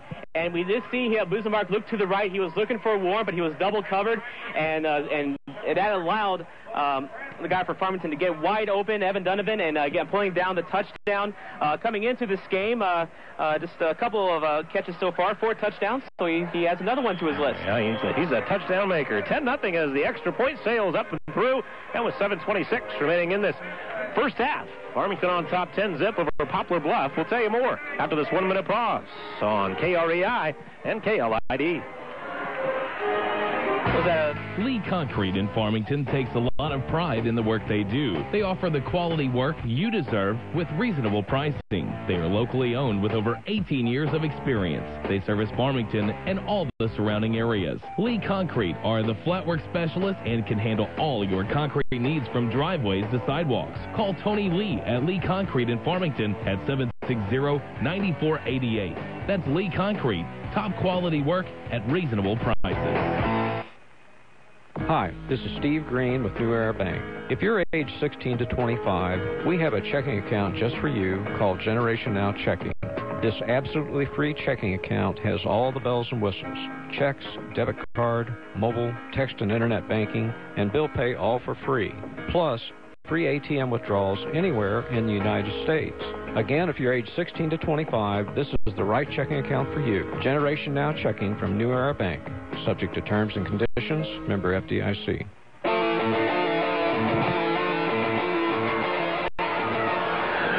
Logan Bradley delivers the sky-high kick, and this one sails over everybody's head, including Brian Kicks, the deep man right there. And Farmington leads 10 nothing. And Tom, tell us about the touchdown drive. Yeah, eight, an eight-play, 90-yard touchdown drive. Let's not forget that Farmington had the ball back in their own zone. They had to go a long way, and uh, Chase Busenbark uh, doing the heavy lifting there, a few runs, and then, of course, the 24-yard touchdown pass to Donovan. Donovan, of course, as we were talking about here, Donovan 12 catches on the season. That was number 12. Five of those catches are for touchdowns. Uh, he, he catches the ball, you're scoring points, guys. That's how it's working with him. Absolutely. Another Ricky Proehl out there. All right, Poplar Bluff's got it. Trying to run off that right tackle. Nothing doing. Ethan Hennis stepped up in the hole and delivered the shot. Yeah, there was a whole horde of nice defense, uh, defensive players on him right there, and a good job sniffing out the run here, and it forces Poplar Bluff back a little bit. So Poplar Bluff, their last two drives, they started out in very rosy territory in Farmington zone, and now they got to make the long, long drive themselves. Seven minutes and counting down in this first half. Cornelius Timothy losing a yard right there. A great play by Hennis. Farmington coming up, stacks the line. And now bolt to the outside by Timothy. And Timothy is corralled right there as well. Just nowhere for him to go. He made a try of it. And sealing in that outside was Doug Warren stepping across the line from that defensive end spot. There is a flag down. Flag down right there at the line of scrimmage, and uh, that's usually in the area of a hold. Brendan and Amsden signaling that he thinks it's against Poplar Bluff. And both of you are right. It is against Poplar Bluff, and it is a hold. And those penalties really upset you if you're a Poplar Bluff fan because not only do you not get any yards on the run, you actually end up sending your team back as well. Do you want a second and 20 or do you want a third and 11? I'll take the third and 11, actually. Will you? I wonder what Farmington will do. Well, hopefully they don't have to get into that situation. It's a pretty good problem to have, isn't it? Well, yeah, yeah, yeah. Two pretty good choices for the defense anyway, not so much for the offense. Exactly, exactly. Poplar Bluff is back five yards as Farmington decides to take this one. Farmington's special teams are so good. They do a good job getting pressure on the punter, and I think that goes into the thinking when they decided to take that penalty. And a not, not a bad out route that time by Austin Goodrich. That's a tough route for a high school quarterback to throw, though. You step back in your own end zone and try to complete a tight 10-yard out route. That's a tough one to complete, and he sailed it over the head of Goodrich right there. Yeah, it is, and one of the uh, few times that we've seen tonight, um, uh, Griggs uh, really missed his target like that, and he's he's been a pretty good passer so far this game. It's just uh, that time didn't work out, and now we're going to see uh, the first uh, three and outs for Poplar Bluff this game. Uh, and now, well, that's what Farmington's hoping for anyway. They played that second down over, and so it's a third and 21 here. So Griggs is the quarterback, and he lines up in the gun at his own three-yard line, fakes the handoff, and then driven down. That'll be a loss of three yards. Just nobody was fooled that time, and Farmington bolted in there, and Griggs had his feet crossed up, and it just didn't happen. And now Farmington's got a chance now in this special teams effort. Yeah, they do here because this is this is a punt blocking territory right here. You want to send a house there on the punter for Poplar Bluff as uh, he's uh, back there pretty far in his own end zone, uh, not quite back back heel to the back Sean line, but Sisney's the punter. Farmington actually has three return men. Now they dropped two more men, and so they won't be sending everybody. The punt, high, not particularly long. DeVault under it at the 40-yard line of Poplar Bluff. Glides to the far side. What a hit! Oh, mercy! Now there's going to be a penalty on this play. The official had a very good positioning right there, and I imagine what they could call is a shot to the head, but Wow, that was an amazing hit by Ethan Hennis. And, you know, from up here, we just thought it was a great hit. But down on the field, the officials obviously that have a very good vantage point, and maybe he got it too high on him. But that was a bell ringer, folks, and I'm glad that kid is upright and walking off the field. Yes, I, I'm glad he's still uh, still in the current grade he's in and not back in kindergarten. We'll see what the call is here. Um, looks like they're uh, looks like they were walking toward the flag here. Okay, Now they signaled delay a game. I would think that they would have signaled personal foul, but I- we'll I- see what we'll see what it is here. I'm not sure what the delay would have been because that flag was thrown right as you know the play was ending, Yeah, so it it wasn't was. anything like he was getting up slow. Uh, we did see DeVault kind of pause for a bit to try to you know judge the ball coming in off the bounce, but Well, that's a, that's one of our collisions of the game. Cra- Yeah. Crown Collision was pretty happy with that one. yes, They're yes. going to have to rearrange some dents after that one. And then he continued to signal signal delay a game. So interesting. Anyway, first and ten for Farmington after it all gets sorted out. Chase Busenbark, the quarterback. He'll bring an offensive team with him. And over to the right side, Logan Bradley in as a wide receiver for the first time. Evan Dunham, the touchdown maker. He's in the slot to the right side, off to the left. A couple of wide receivers as well, Kyle Hartrip and Doug Warren. One setback, Connor DeVault, and 5.51 remaining here in this first half. Farmington leads 10 to nothing. Busenbark with his heels just inside of the 50-yard line on the Poplar Bluff side. Connor DeVault slips through a couple of guards, ducks his head, now trying to churn forward and power forward. T.J. Williams, though, finally wraps him up. That's a nice run by Connor, though, and a gain of six. And again, T.J. Williams will call his name a few times tonight with the big tackle, and uh, Connor DeVault, as we as we said all along, Connor will not go down on that first contact. He always keeps fighting and fighting, and, and ends up being a very hard-earned uh, five-yard gain on the play. Connor, six foot, 185 pound senior, has some nice feet with about a 4.6 40, but his size belies his power. He's a guy, he's a guy that runs tough. Trips to the right side, one man off to the left side. That's Warren. Warren tries to run by his guy. The pass thrown high to him, dives up to try to grab the ball. This pass is incomplete. I'll tell you what, if you're Poplar Bluff, you might have a small case for offensive pass interference right there, Thomas. Warren tried to reach through that defensive back, Jake Pulliam, and Jake at 5'7", I thought did as good a job as a guy could on on his pass coverage right there. Exactly. Doug Warren coming in. You know, I mean, he's matched up with Doug Warren, the uh, big six foot four, 200 pound guy. Pulliam, on the other hand, 5'7", 150. And uh, that's just uh, that was just all positioning right there by Pulliam to get in the way of that pass. It was it was it was good defense. And, and yes, as you said, you could have made the argument for uh, uh, defensive pass interference or even Off- offensive. Offensive, yeah. Yeah. Connor DeVault has it on a third and five, and he is spun down in the backfield, bursting through Lorenzo Daly. Terrific play by Daly. And a loss of a yard for Connor DeVault. A fourth down coming up. Yeah, and that's one of those rare times to see the ball go down on that first contact, but that was just a, a refusal to quit by Lorenzo Daly. It looked like DeVault uh, uh, might have been able to break away from that one, but Daly just stuck with them. So now the uh, first uh, three and out for Farmington. Todd Vaughn brings the punt team on the field here. Logan Bradley. Now Poplar Bluff smells something rotten in Denmark here, and they won't even put a return man back. They say, Logan Bradley, see how you can place this thing. And Logan kind of pooches it, angles it over to the left side. It hops at the two. It hops at the one. Farmington goes to grab it, throws it back in the field of play, and it's down at the six. They are going by to say Connor touchback. DeVault, but now the officials finally signal a touchback. So that's the way it'll be. 420 remaining in the second quarter, 10 nothing. Farmington on top. And we'll tell you more about this Farmington and Poplar Bluff matchup after this 30 second pause. Captain D's in Farmington announces their dozen butterfly shrimp meal with two sides and two hush puppies for $5.99. Plus, you'll get your choice of four different sauces like Southwest Chipotle, brown sugar bourbon, hickory barbecue, or orange glazed sweet chili. What are you waiting for? Get to Captain D's across from the Family Center on Highway 221 in Farmington. For food you just gotta have. That's Captain D's, Highway 221 in Farmington.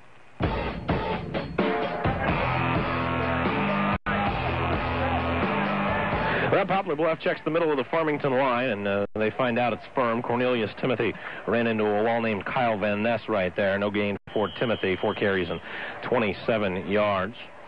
And we thank you so much for joining us not only tonight on KREI, but also on KLID, on MyMoInfo.com. And if you're watching the game on KREI Web TV, well, hope you're enjoying that as well. So many methods to listen to us and watch us tonight, Tom. It's amazing how we've um, how we've grown from just a simple radio box. Master of all media, apparently. Kyle Van Ness jumping offside right there. And that'll give a five-yard reprieve to the Mules. And we can't say the king of all media because that would be trademark infringement. Howard Stern, of course. Yes, of course. So uh, Poplar Bluff giving uh, the Farmington defense some. Uh, actually, it's the other way around. Farmington giving Poplar Bluff some free yards. Mm-hmm. 338 remaining in this first half. 10 nothing. Farmington, and you know, I, I love watching good competitive games. We've got one here tonight. Yes, we do, and it's uh, you know some people might have come into this game and think, oh, you know, last year Farmington beat Poplar Bluff 70 to seven, and are thinking, you know what, oh, this is just going to be a walkover. It's been anything but. Mm-hmm. It really has. So Griggs comes under center this time. Oh, my! Oh, hello, Roper Garrett. Roper Garrett's arrived tonight, folks. So, mercy, Roper Garrett just punished Austin Bruce. Austin Bruce came in as the leading rusher for the Mules on the year. That was his first carry. He might not get many more after that shot No, if he by keeps, Roper Garrett. if he keeps, keeps getting hit by that Mack truck named Roper Garrett, I mean Garrett, I, he's making himself uh, some early consideration for our player of the game tonight, uh, our Mega Sports player of the game. He does that. Yeah, he likes to do that. He makes a habit of that. Yeah. Oh, mercy, Roper. Yes. Lorenzo Daly, the lone running back now. It's a third and six. Griggs is back in the gun. Griggs, a quick decision and a nice throw out there to Hicks. Hicks curls it up on the out route to the 40. Now cuts back to the 50. Breaks the tackle down to the 45. And Hicks with a tremendous gain of 30 yards. And, uh, and a good job on the tackle there by uh, Farmington. Uh, Brian Capias coming back there to stop the uh, the, the big big play from happening. But uh, uh, that was just a, just a, just a great job by uh, Poplar Bluff. Uh, the quarterback was under some pretty uh, pretty big duress there, uh, Michael Griggs, and uh, he got the ball out to Hicks, and Hicks uh, just uh, broke away. Griggs has some weird numbers in this game, his stat line. I'll tell you about it coming up after this play. it's a first and 10, and Griggs throws the out and up to Austin Goodrich. Sails this one, though, with uh, nary a chance to catch that one by Goodrich. Okay, Michael Griggs in this game is three for eight with 100 yards passing. He's completed a route for 30 yards to Goodrich. That was on the first play from scrimmage, and then two to Brian Hicks, one for 40 and one for 30. kind of like a Jeff George kind of quarterback. All or you know? nothing, huh? All or nothing, exactly. Exactly. You don't see that a lot in high school football. 237 remaining in this second quarter. A 10 nothing lead for Farmington. And twice, Poplar Bluff has gotten inside Farmington's 10 yard line. They had a second and goal from the one yard line of Farmington. And now here's another pass deep to Hicks. And Hicks pulled it in. I don't know how he caught it. I don't But he did, and it's a gain of 30 yards even with a pass interference fall going against Kyle Hartrip. Yeah, Hartrip was pretty much draped all over him, and, and Hicks just with the concentration to, to, to pull that ball down from the heavens, and I mean literally, because Griggs put uh, put some loft on that one, and uh, Hartrip uh, doing his best to try to stop the the uh, catch from happening, but Hicks just wouldn't have it, and as you said, there is a pass interference on uh, Hartrip, so uh, just uh, just if you're Poplar Bluff, I mean, going deep is working. No kidding. That's an incredible play by Hicks.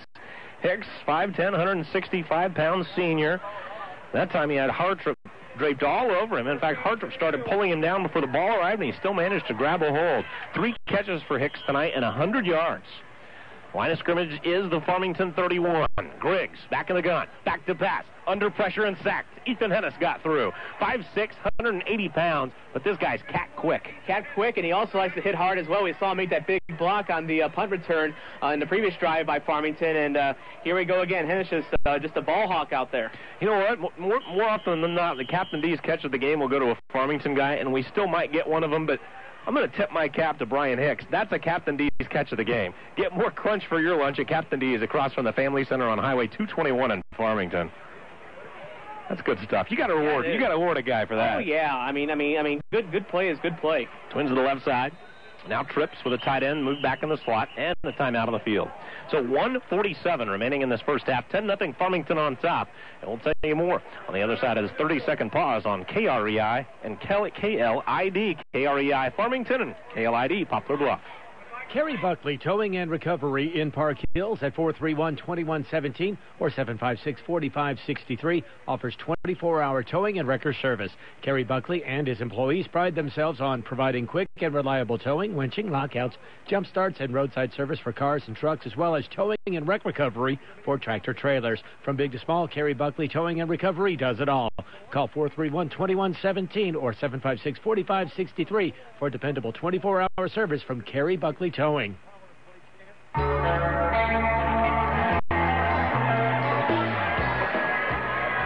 Now Chase Busenbark comes in this game throwing for 164 yards per game. Michael Griggs is throwing for a modest 71 yards per game.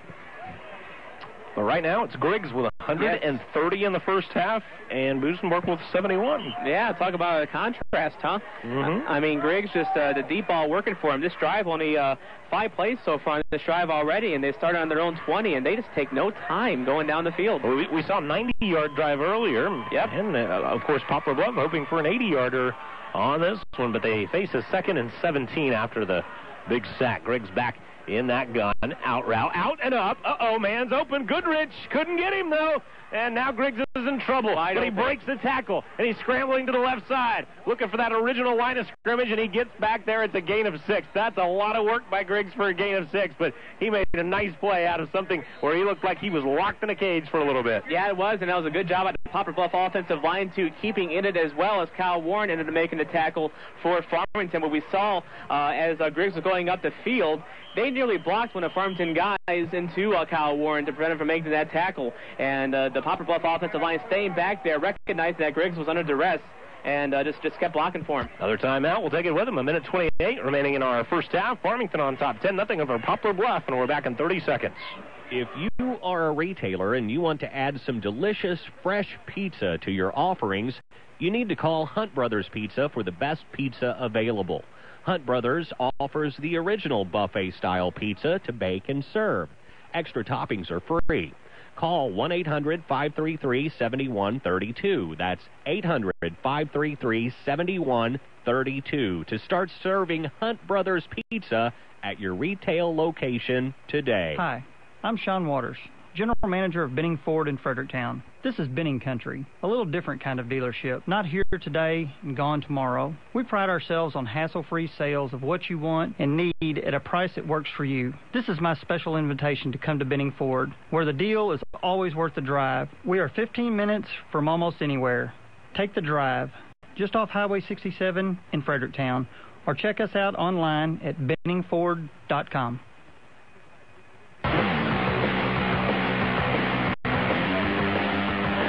Michael Griggs passes incomplete on an out route intended for Austin Goodrich. Goodrich had an out and up, Tom, on the last play that if Griggs would have seen that thing develop along that right sideline, there would have been a chance for a score. This time, well, he just threw a bad ball, and we've got a fourth down. And this is going to be another one of those times for Poplar Bluff where he got to convert on fourth down. And the past couple times, Poplar Bluff has seen fourth down and uh, and yardage has been a lot shorter than 10 yards. But as we've seen this drive, Poplar Bluff, they can get the yards whenever uh, whenever needs. And looks like they're going to take some more time to think about it. All right, we'll take it with them. 125 remaining in the first half, 10 nothing Farmington. And we're back with the fourth down in a minute. Contractors Air Conditioning and Heating, Local 36 contractors say they are the indoor air specialists they mean it. Sheet metal contractors will tailor heating and cooling systems specifically designed for your comfort. They offer many services and products that truly benefit your indoor air quality, such as air duct cleaning, electronic air cleaners, electrostatic filters, humidifiers, and more for commercial, industrial, and residential applications. Call Sheet Metal Contractors in DeSoto at 337-2150, where excellence prevails. Midwest Orthopedics Group with Dr. Scott Van Ness and Dr. Christopher Sloan are orthopedic surgeons and podiatrists who offer total joint replacements, arthroscopic surgery, carpal tunnel, fracture care, workman's compensation cases, foot care, and surgery. And new patients are welcome. All surgery and care done locally in Farmington. That's Midwest Orthopedics Group, just down from Buffalo Wild Wings in the Midwest Professional Building in Farmington. Midwest Orthopedics Group. Fourth and 10 for Poplar Bluff. They've got it at the Farmington 32-yard line. Michael Griggs, the quarterback, throws a deep out route. This one's intended for Austin Goodrich. And once again, we'll see Poplar Bluff, Tom, turning it over on downs deep in Farmington territory. Yeah, and that time there, uh, Griggs had a lot of time to throw that ball, and he, he still looked like he was a little, little happy feet back there a little bit. He, he rushed it, and we saw it there, uh, as we've seen a few times tonight by Griggs, overthrowing his man just a little bit. And uh, that's sometimes that's just you know how close you get to uh, first down and uh, turnover on downs, just a few yards. Well, about a 40% completion guy, and yeah, his accuracy, probably like to see it improve a little bit. A minute 21 remaining in the first half. Farmington has a quick strike offense. And let's see if they can push the football down the field now. Chase Busenbark back with time to throw. Breaks the pocket, rolls to his right, directs a little traffic, fires it down the field, and this one sails over the head of Alex Sebastian. Yeah, good job by Busenbark there too. Once he uh, once he got out of the pocket, he settled his feet and uh, and it looked like he had a chance to get his guy down there, but I think he was just more worried about not taking the sack there. So we're going to see second down. Well, That's terrific coverage, though. It, I mean, he waited, he waited, he even extended the play, and still nobody uh, was able to break free for him. Absolutely. I mean, Busenbark's a quick quarterback back there too, so good job to get out of the way as well. Warren off to the left side, and DeVault joins him in the slot right there. Alex Sebastian, a wingback. Busenbark rolls to the left, sees a little seam, breaks one tackle, breaks two tackles, stiff arms a man, trying to push his way forward. He gains six yards. Sometimes the smallest seams is all you need, especially if you're Chase Busenbark, as as uh, he made something out of nothing there. He looked like he did want to go deep and down down the field, but again, the Poplar Bluff coverage just there on just there on the ball, and uh, Busenbark just making his own magic on offense. Poplar Bluff basically in a full-time nickel with two linebackers, and Farmington still is not able to run the football for Wide big open. chunks. But here's a wide open play to Alex Sebastian. That time he broke free, and Busenbark hit him in stride. A 63-yard touchdown pass, and Farmington strikes with under a minute remaining in the first half. What a pass by Busenbark, and uh, and uh, just a wide, wide, wide open Alex Sebastian there for the touchdown. Farmington up 16 to nothing. Second touchdown pass of the game for Busenbark. And that's his 11th of the year. For Alex Sebastian, and we saw the speed down the right side, and Busenbark just put him right on the hands for him. Sebastian with that big 63-yard touchdown catch. Logan Radley sends it up and through, and it's a 17 zip lead for Farmington. 37 seconds remaining in our first half. We've got your kickoff in a minute. Hi, I'm Sean Waters, General Manager of Benning Ford in Fredericktown. This is Benning Country, a little different kind of dealership, not here today and gone tomorrow. We pride ourselves on hassle-free sales of what you want and need at a price that works for you. This is my special invitation to come to Benning Ford, where the deal is always worth the drive. We are 15 minutes from almost anywhere. Take the drive, just off Highway 67 in Fredericktown, or check us out online at benningford.com. Hi, this is Jeff and Paige from Auto Spa Car Washes. When you wash your car, truck, boat, motorcycle, four wheeler, Or whatever wheeler at Auto Spa, you're using our exclusive Cotton Soft water system. This system will clean your whatever wheeler, leaving it spot free with a finish that looks great today and for years to come. wash your car at Auto Spa, home of the free air freshener. To find an auto spa near you, go to myautospa.net. Wash your car. Wash your car. Wash, your car, at Auto Spa. If you are a retailer and you want to add some delicious, fresh pizza to your offer, We welcome you back to Mo- Hale Memorial Stadium and Farmington kicking it off now to Poplar Bluff. Brian Hicks, we've seen him great in the passing game as a wide receiver. He's the deep man right here as Logan Bradley squibs this one down the field and it rolls out of bounds. But Tom, Good touchdown drive by uh, Farmington. They got it uh, when they grabbed it on downs back from Poplar Bluff, and uh, they had a big play mixed in with a couple of nice scrambles from Busenbark. That's right. They wasted no time just on the first set of downs. It was on third down when he made the big pass, and uh, almost uh, Andy Griggs-esque with the way that Chase Busenbark got the big, uh, big pass in there. We've uh, we've been waiting for that for a little while. So Busenbark, I believe that pretty much matches him up with Griggs as far as yards goes on on, on passing. We'll get that determined here in just a bit. You're right. It is. So, uh, so uh, uh, Sebastian, 63-yard touchdown pass, his second touchdown pass of the game. And we've been talking a lot about the running game so far, Farmington, but it's been via, the air that the Farmington Knights are getting their points. You're quite astute. for Busenbark. 130 for Griggs. So well There done. Well done, Tom. There you the, go. The difference, two touchdowns for Busenbark. Yes, that is the big difference. So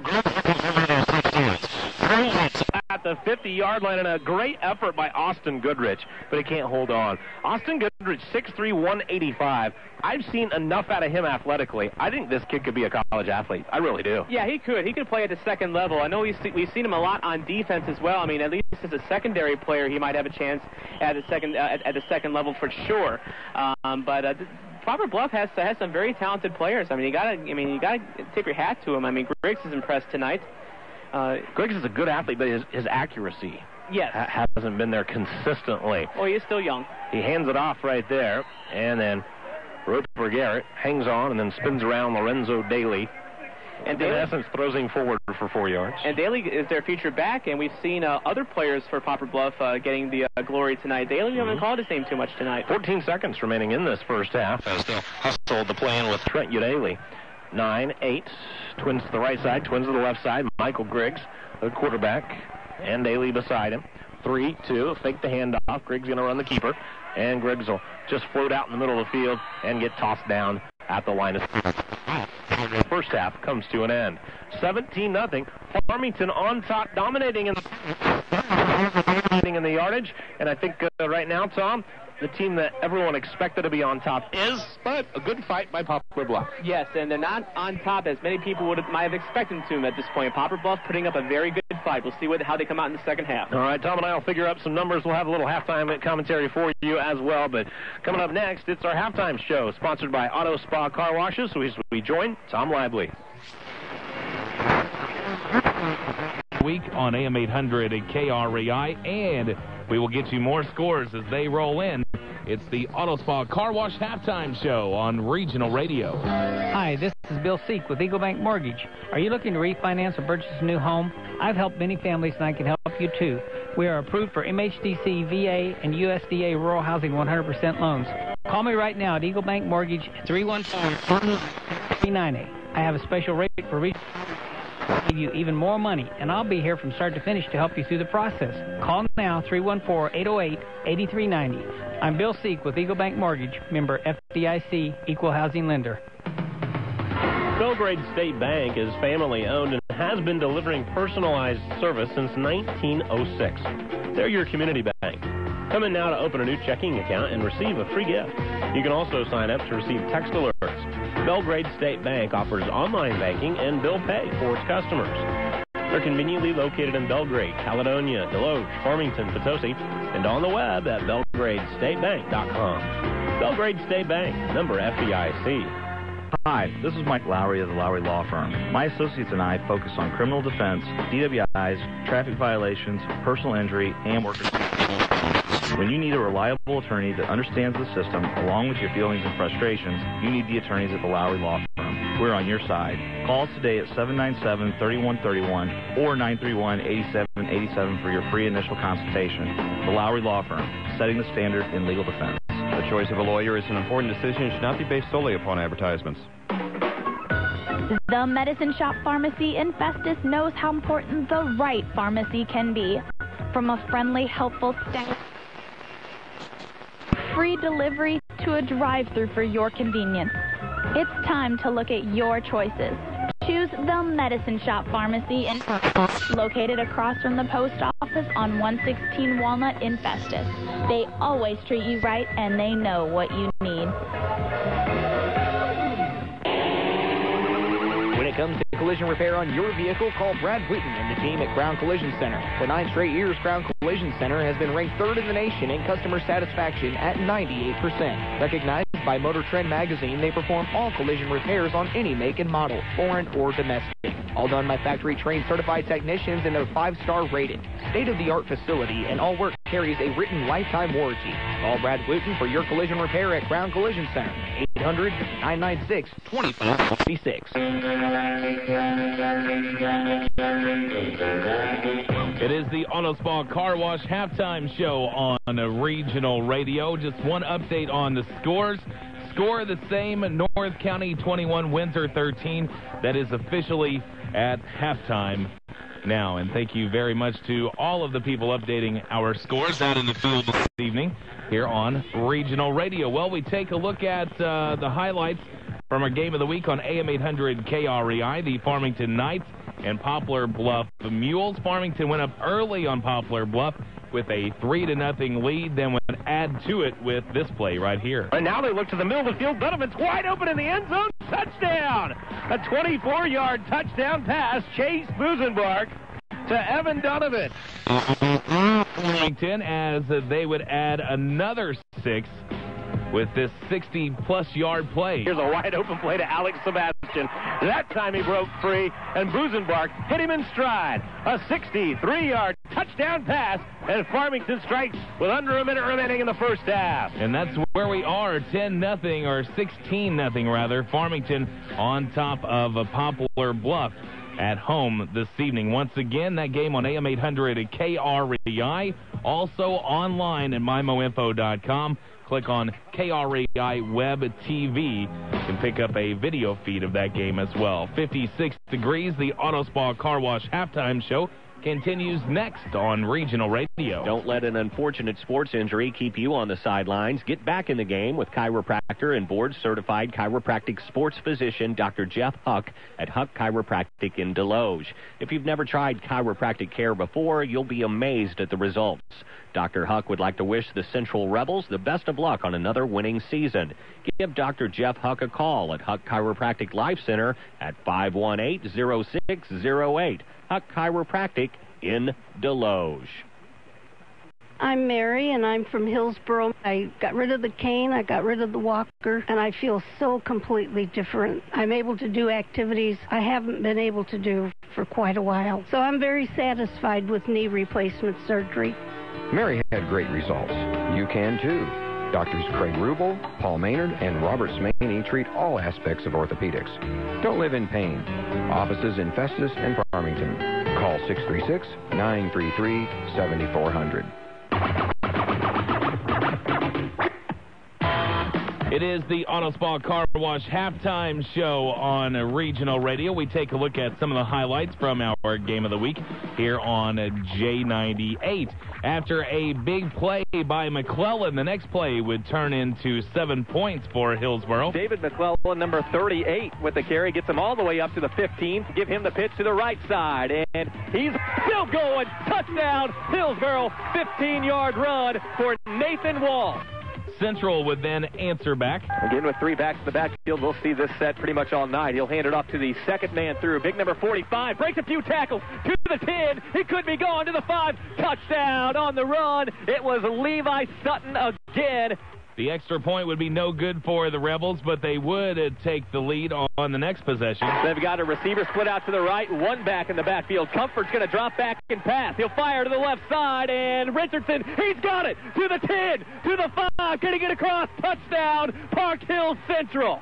And a Central right before half with the second left on the clock. A long field goal.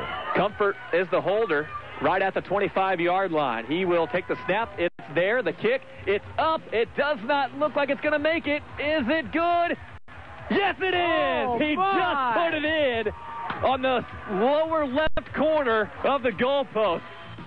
And that would be your halftime score on J98 Central 16, Hillsboro 7. When we return, we'll see if we have time to run down all of the scores If not, we'll send it back out to the guys in the field. It's the Auto Spa Car Wash Halftime Show on Regional Radio. Kerry Buckley Towing and Recovery in Park Hills at 431-2117 or 756-4563 offers 24-hour towing and wrecker service. Kerry Buckley and his employees pride themselves on providing quick and reliable towing, winching, lockouts, jump starts, and roadside service for cars and trucks, as well as towing and wreck recovery for tractor trailers. From big to small, Kerry Buckley Towing and Recovery does it all. Call 431-2117 or 756-4563 for dependable 24-hour service from Kerry Buckley Towing.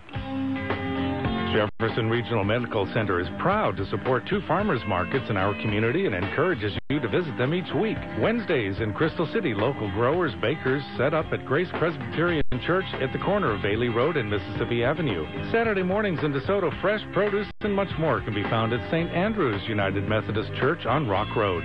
Jefferson Regional Medical Center encourages you to eat healthy and visit your local farmers markets. Stop. Don't do it. Don't buy a pre-owned vehicle without seeing what Auto Centers Bonne Terre can do for you. Hi, I'm Jason Hale, owner, Auto Centers Bonne Terre. And because we sell our entire inventory every month, I guarantee our cost is lower, ensuring you a better price, better trade, and ultimately better payments. Come buy it right at Auto Centers Bonne Terre.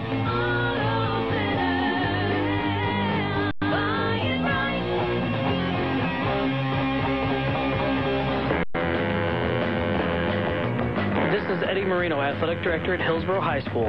As a five-star leadership school, Hillsboro promotes the value of participation, sportsmanship, team play, and personal excellence. As we celebrate homecoming, we would like to welcome back all of our alumni and thank our community, parents, staff, coaches, and players. Go Hawks!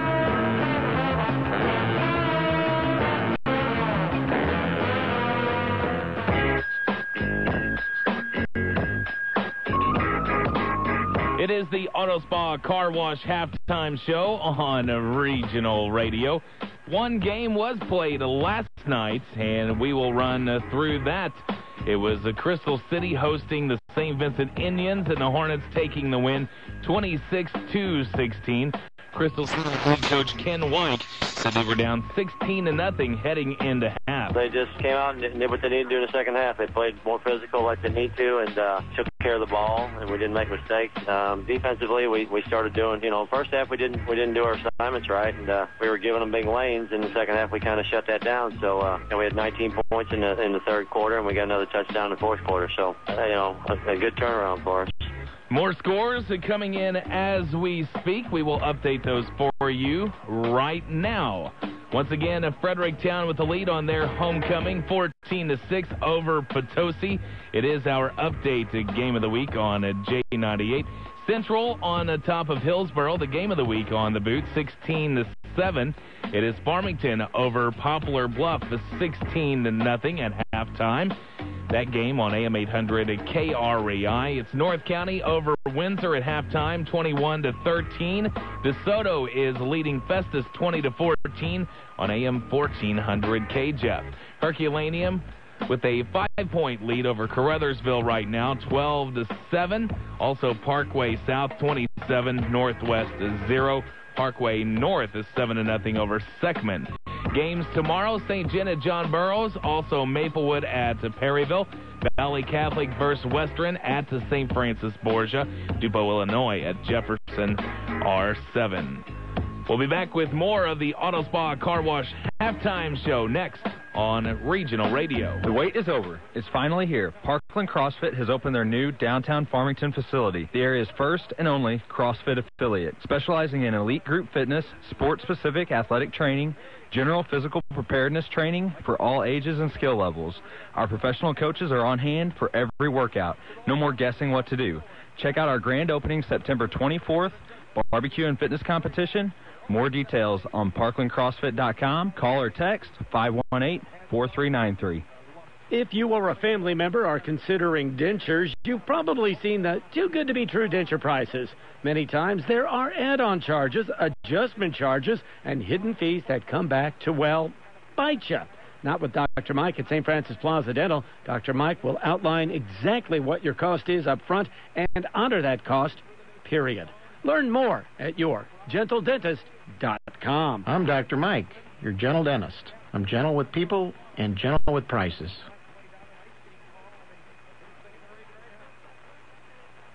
Corks one into right down the line. It may go. Go crazy, folks. Go crazy. Swing and a long one. Right field. Way back and long gone. The St. Louis Cardinals won the National League Wild Card. You can be a wild card winner too. Get your wild card chance to win tickets to a Cardinals home playoff game. Go to mymoinfo.com and register for your chance to win. Your St. Louis Cardinals wild card chance to win tickets is brought to you by Trattoria Giuseppe's Italian Restaurant in Otto, Jefferson Regional Medical Center in Festus, and SMTS Transportation in Fredericktown. Cardinals win this one 8 nothing as Carpenter goes the distance, shuts them out on just two The drawing for a pair of tickets for Tuesday's wild card game is Monday. So log on and register now at mymoinfo.com. One registration per person, please. A swing and a miss, and that's a winner.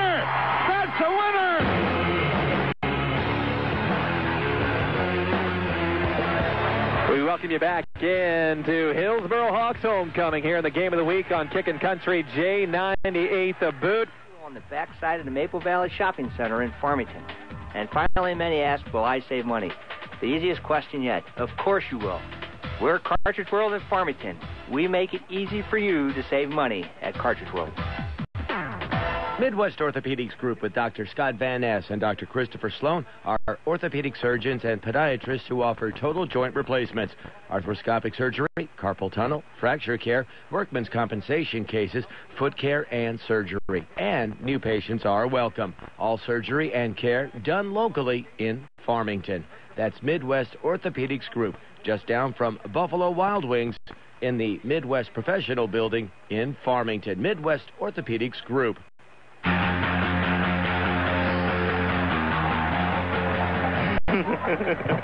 Tom Willenbring right there. I'm Chad Speaker. Thanks so much for joining us tonight on KREI. Kathy Capias, the third member of our team, engineering and operating our game tonight. 17 nothing is the score, and so Farm- Farmington certainly uh, not being threatened or closed in on right now. Poplar Bluff doing enough uh, certainly to impress us tonight. Oh, absolutely. Poplar Bluff is still very much in this game. I mean, we've seen uh, Poplar Bluff at times on offense being able to chew up some yards just like that. And uh, and so far this game, uh, Poplar Bluff having six drives so far, and and this game could be even a lot closer, Chad, because remember the first two drives that Poplar Bluff had, they got down to very deep in Farmington territory. They ended up on the Farmington 22, the first drive. The second drive, they ended up at the Farmington five. And, uh, And it, it was in that drive, I believe, Tom, that they were in even inside the one yard line. Yes, and then they got pushed back a little bit, and then they had to turn over on downs. Then we saw them come back on the third drive, get down to the Farmington 10 after an interception, and then again turn it over on downs after Hicks dropped the pass. So, I mean, they Poplar Bluff has had their chances, and we've seen them kind of go backwards a little bit from there, but I'm sure uh, in the locker room for uh, for Poplar Bluff, uh, uh, the head coach for Poplar Bluff is, is, is talking to them and just telling them to come out like you did in the first half, because Poplar Bluff came out and they and they and they wanted to show that they belonged out there on the football field, and they did early on. Played physical, and uh, they also won the toss and deferred, so they will get the ball to start the second half of play.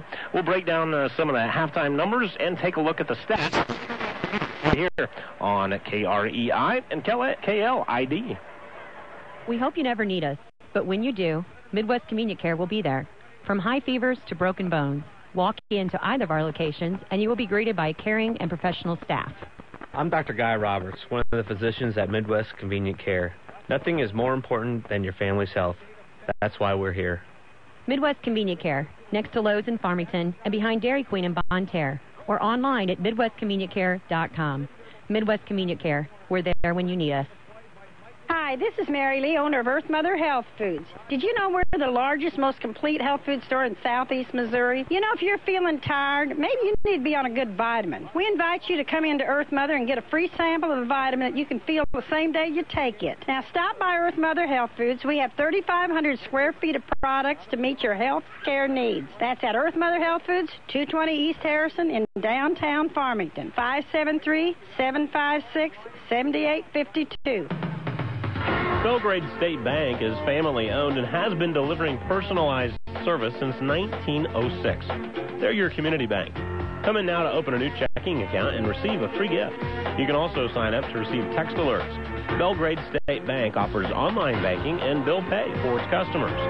They're conveniently located in Belgrade, Caledonia, Desloge, Farmington, Potosi, and on the web at belgradestatebank.com. Belgrade State Bank, member FDIC. Need it, want it, rent it, own it.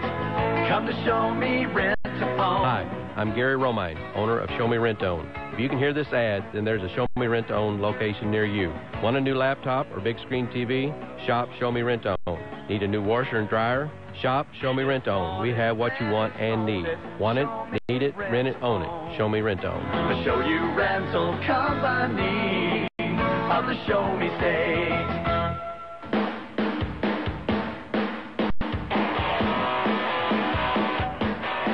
Break down the numbers from the first half as Farmington leads 17 to nothing, and the total yardage led by Farmington, but the disparity not huge. 249 total yards for Farmington, 198 for Poplar Bluff. The Mules gaining 68 on the ground, 130 through the air, and the big play is where they were uh, particularly effective uh, in the passing game. Michael Griggs.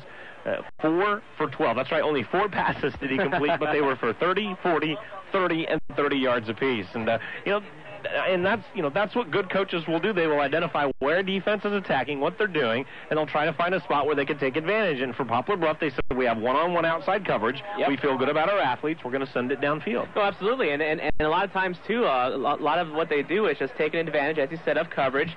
Uh, sometimes you know on size as well. Um, that's something we see Farmington do a lot with uh, Doug Warren uh, matching up against the, their five-seven guy, and we've seen that you know even even on the side of Poplar Bluff as well. So give credit uh, to to Poplar Bluff for seeing the opportunity there to uh, go deep at times, and again, we've seen too. Griggs has an arm. He does have a very good arm. It's just that sometimes he gets a little. Uh, I guess a little nervous. Yeah, he has a it's a good arm. He, he can send it downfield, not particularly precise. Yes, you yes, say all as evidenced by the four for 12. Griggs has the uh, most carries of the game for Poplar Bluff. He 12 of those for 12 yards. Lorenzo Daly leads the Mules in rushing, six carries and 30 yards for him. And then Cornelius Timothy has 27 yards on four carries. He had the big run of the game for Poplar Bluff of 24 yards.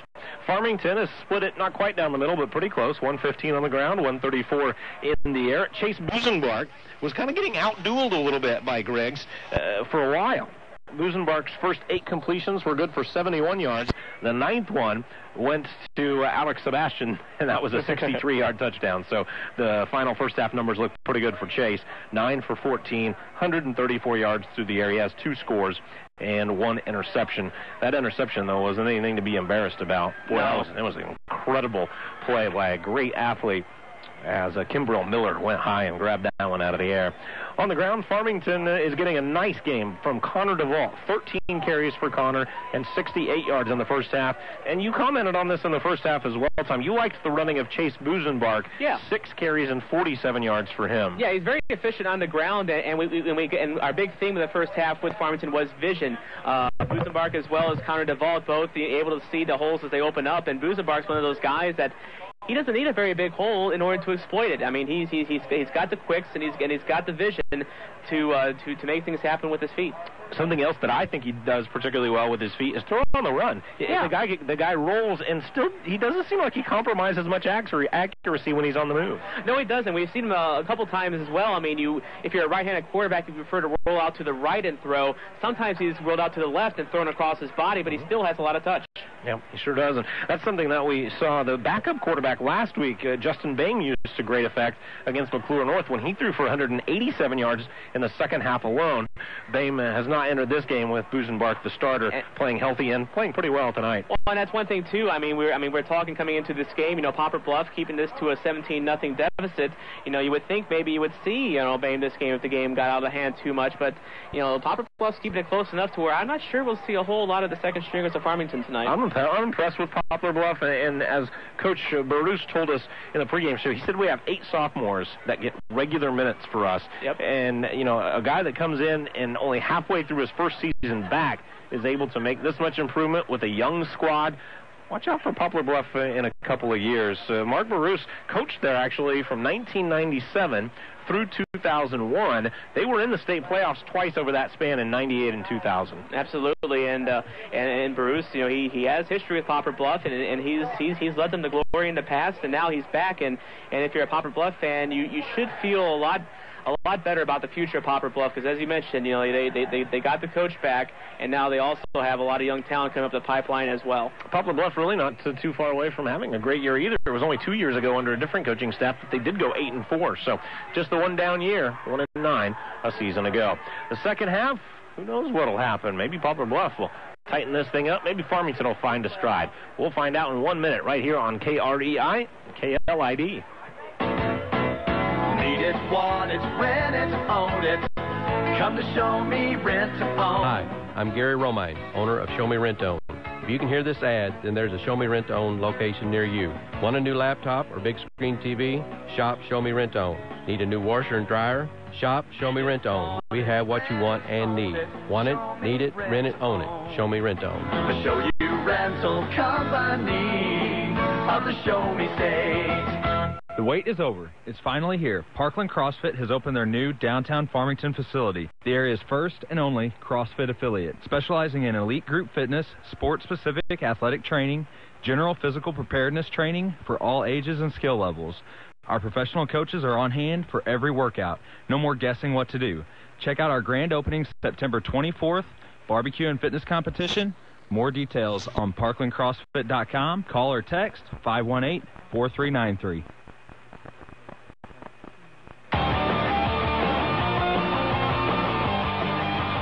We'd like to thank uh, Colton's and Jack Hahn and the staff of Colton's for taking care of our sports crew and filling us up uh, before the game. And uh, th- we have a grueling task tonight, of course, Tom, so we're able to find the power we need for the second half as well. Yes, very appreciative of Colton's for uh, giving us the fuel we need to keep going, and of course we're appreciative of Captain Capias back at the studio for keeping us on the air as well. There so, a lot lot of uh, lot of gears in motion tonight. A few more sponsors to thank. Uh, County Do It Center in St. Genevieve, Accent Marketing in Farmington, Crown Collision Center in Farmington, Sheet Metal Contracting in DeSoto, St. Francis Plaza Dental in Leadington.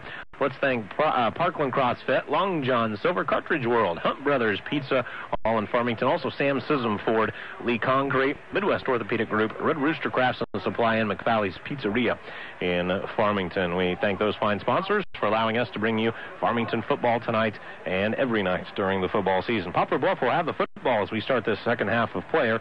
They'll receive the kickoff anyway, and they will move it from our right to our left as we look at and describe the action to you here tonight. The far sidelines, uh, we actually broadcast from the visiting sidelines. I understand they changed that a few years back here in Farmington. That part sparsely populated, but the Farmington sideline nearly all full tonight. So good crowd on hand and really almost a perfect night to watch football. A little bit of a chill in the air and you know, there's kind of that feeling that comes along with football is finally starting to feel that way. Yeah, it's starting to feel very much like football weather. Not too cold yet at this point. We're not talking frozen tundra yet here, although I know that time is soon approaching.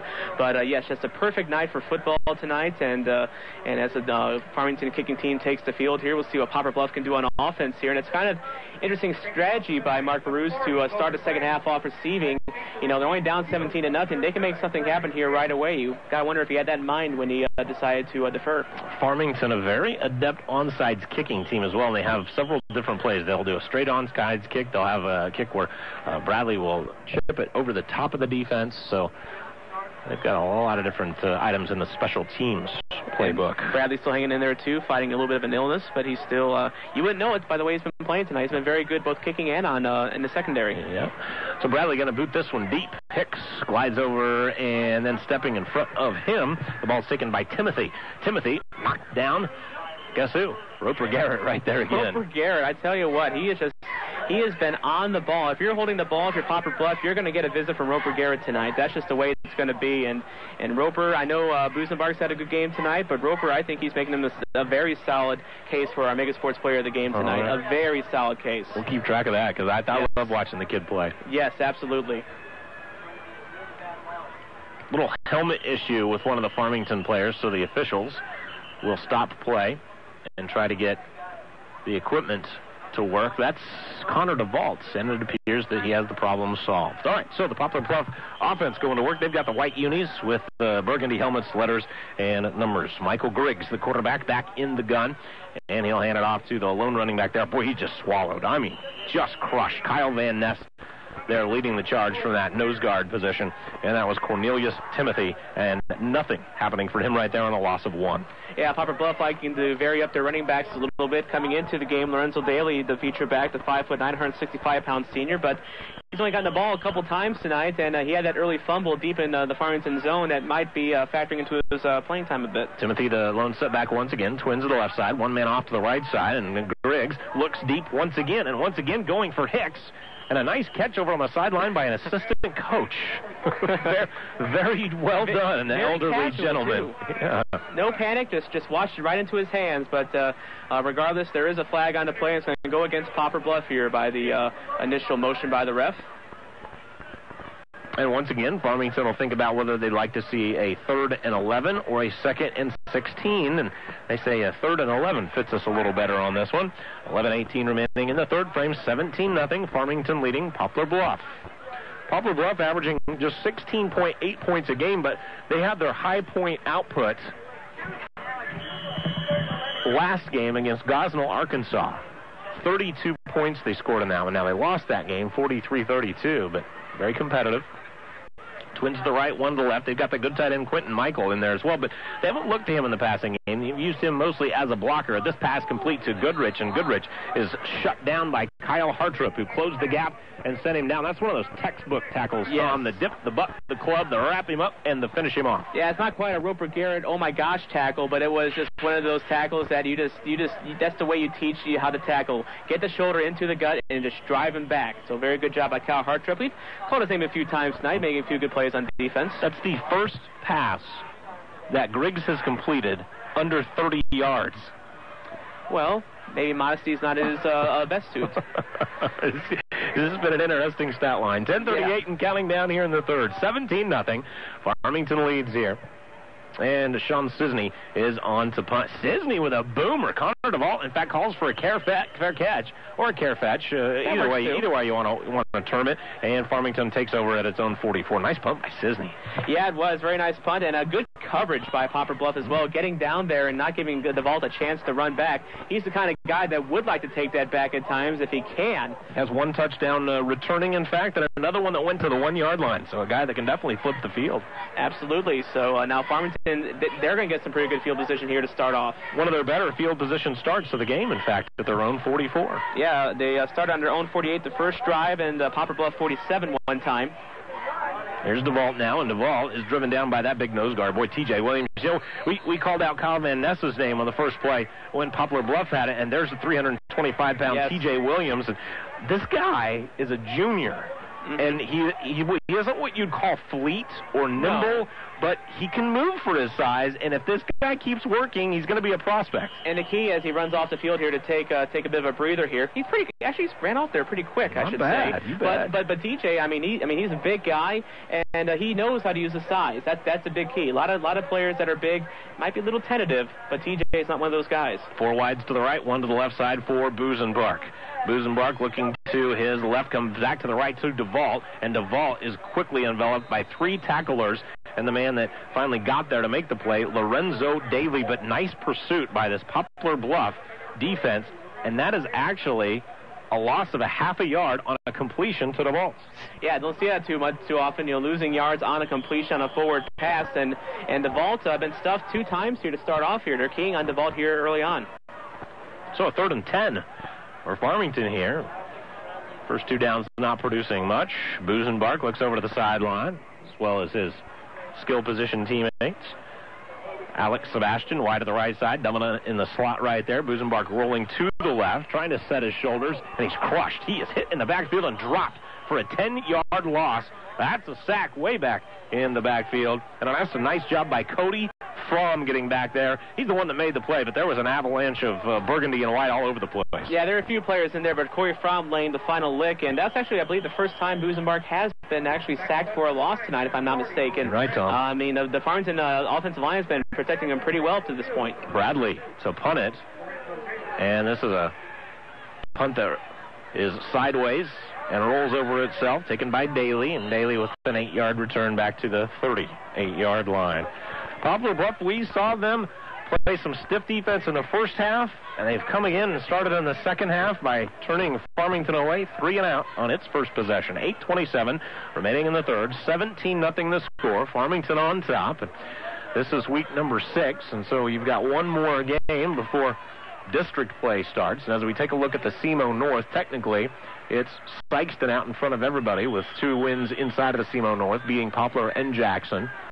Cape Central 1 0. This is Farmington's first game in the SEMO North of the year. And we all know when district play starts that, you know, those standings that you just uh, uh, spat out, uh, a lot can change. Mm-hmm. Back in the gun, Michael Griggs looks to the left side. Coverage supplied by Jared Dunlap against Hicks. Oh, Hicks dropped one. That's the first time we've seen Hicks drop one. But here's a flag coming out of the back pocket of the official, and Dunlap may have nudged him early. Yeah, that could be the case there. Hicks looked like he had a bearing on the ball, and uh, and it looked like it, he, he he he could have made that catch, and that's just kind of like one of those uh, Jackie Smith dropping in the end zone. Oh, bless your heart, kind of drops. Um, but uh, but this is still going to be a Poplar Bluff's benefit because pass interference on Farmington. Okay, so that that that one doesn't count against him then, right? Well, correct, correct. Or So- maybe, so- maybe, so- maybe it does. Uh, well, gonna put words maybe, in your mouth. Well, maybe the coach might, you know, put a little note on the bottom of the page. You know, might make him run a few laps after after that. Run laps, you man. I'm glad you're not coaching me. Oh, that, that's what we had to do. You're tough. We, we, we used to do pop-ups for each yard of penalties we had, all of us. Our coach was pretty rough, man. Oh, you're talking about the defense. Oh, okay. I thought I know what we were talking I- about. The whole team, the whole team would have to do pop-ups for each yard of, of penalties that we would have. So if we had like 50 yards in penalties, all of us would have to do 50 pop-ups. All right, 15-yard penalty against Farmington. See what Todd Van Vaughn has in store for them this week for that. Then there's a snap back to Griggs. He's in the gun, goes deep to Hicks again. Hicks is wide open this time, grabs it at the 20 to the 10, touchdown. Poplar Bluff is on the board. A 46-yard strike, and Griggs to Hicks. Once again, this time it results in six. Yes, and, and, and we, we've been waiting for that kind of all night from Poplar Bluff. We've seen them make the big play, and we've seen all night long um, uh, the, uh, Griggs trying to go for Hicks, trying to go for Hicks deep, just missing him a little bit. But this time Hicks had at least a few steps on his on the cornerback, and he was able to uh, catch a wide open pass, and it was just a smooth sailing from there. Well, it was. He sailed down the field, as you said. Matt Riggins on for the extra point. Poplar Bluff making this a ball game in Farmington tonight. The snap is back. The hold is down. The kick is up and through. 8-10 remaining in the third. 17-7 and Poplar Bluff trying to make it a ball game in Farmington. We'll have your kickoff in a minute right here on KREI and KLID. Citizen Ford Lincoln model year and closeout. Right now, you can get 2011 Ford Fiestas, Focus, Fusion, Mustang, and Taurus at 2011 closeout prices. Plus, Sam Scism has SUVs and crossovers too, like Ford Escape, Explorer, and Edge. When you think Ford, think Sam Scism Ford Lincoln, the trusted name for Ford and Lincoln for nearly 75 years. That's Sam Scism Ford Lincoln off Highway 67 between Park Hills and Farmington.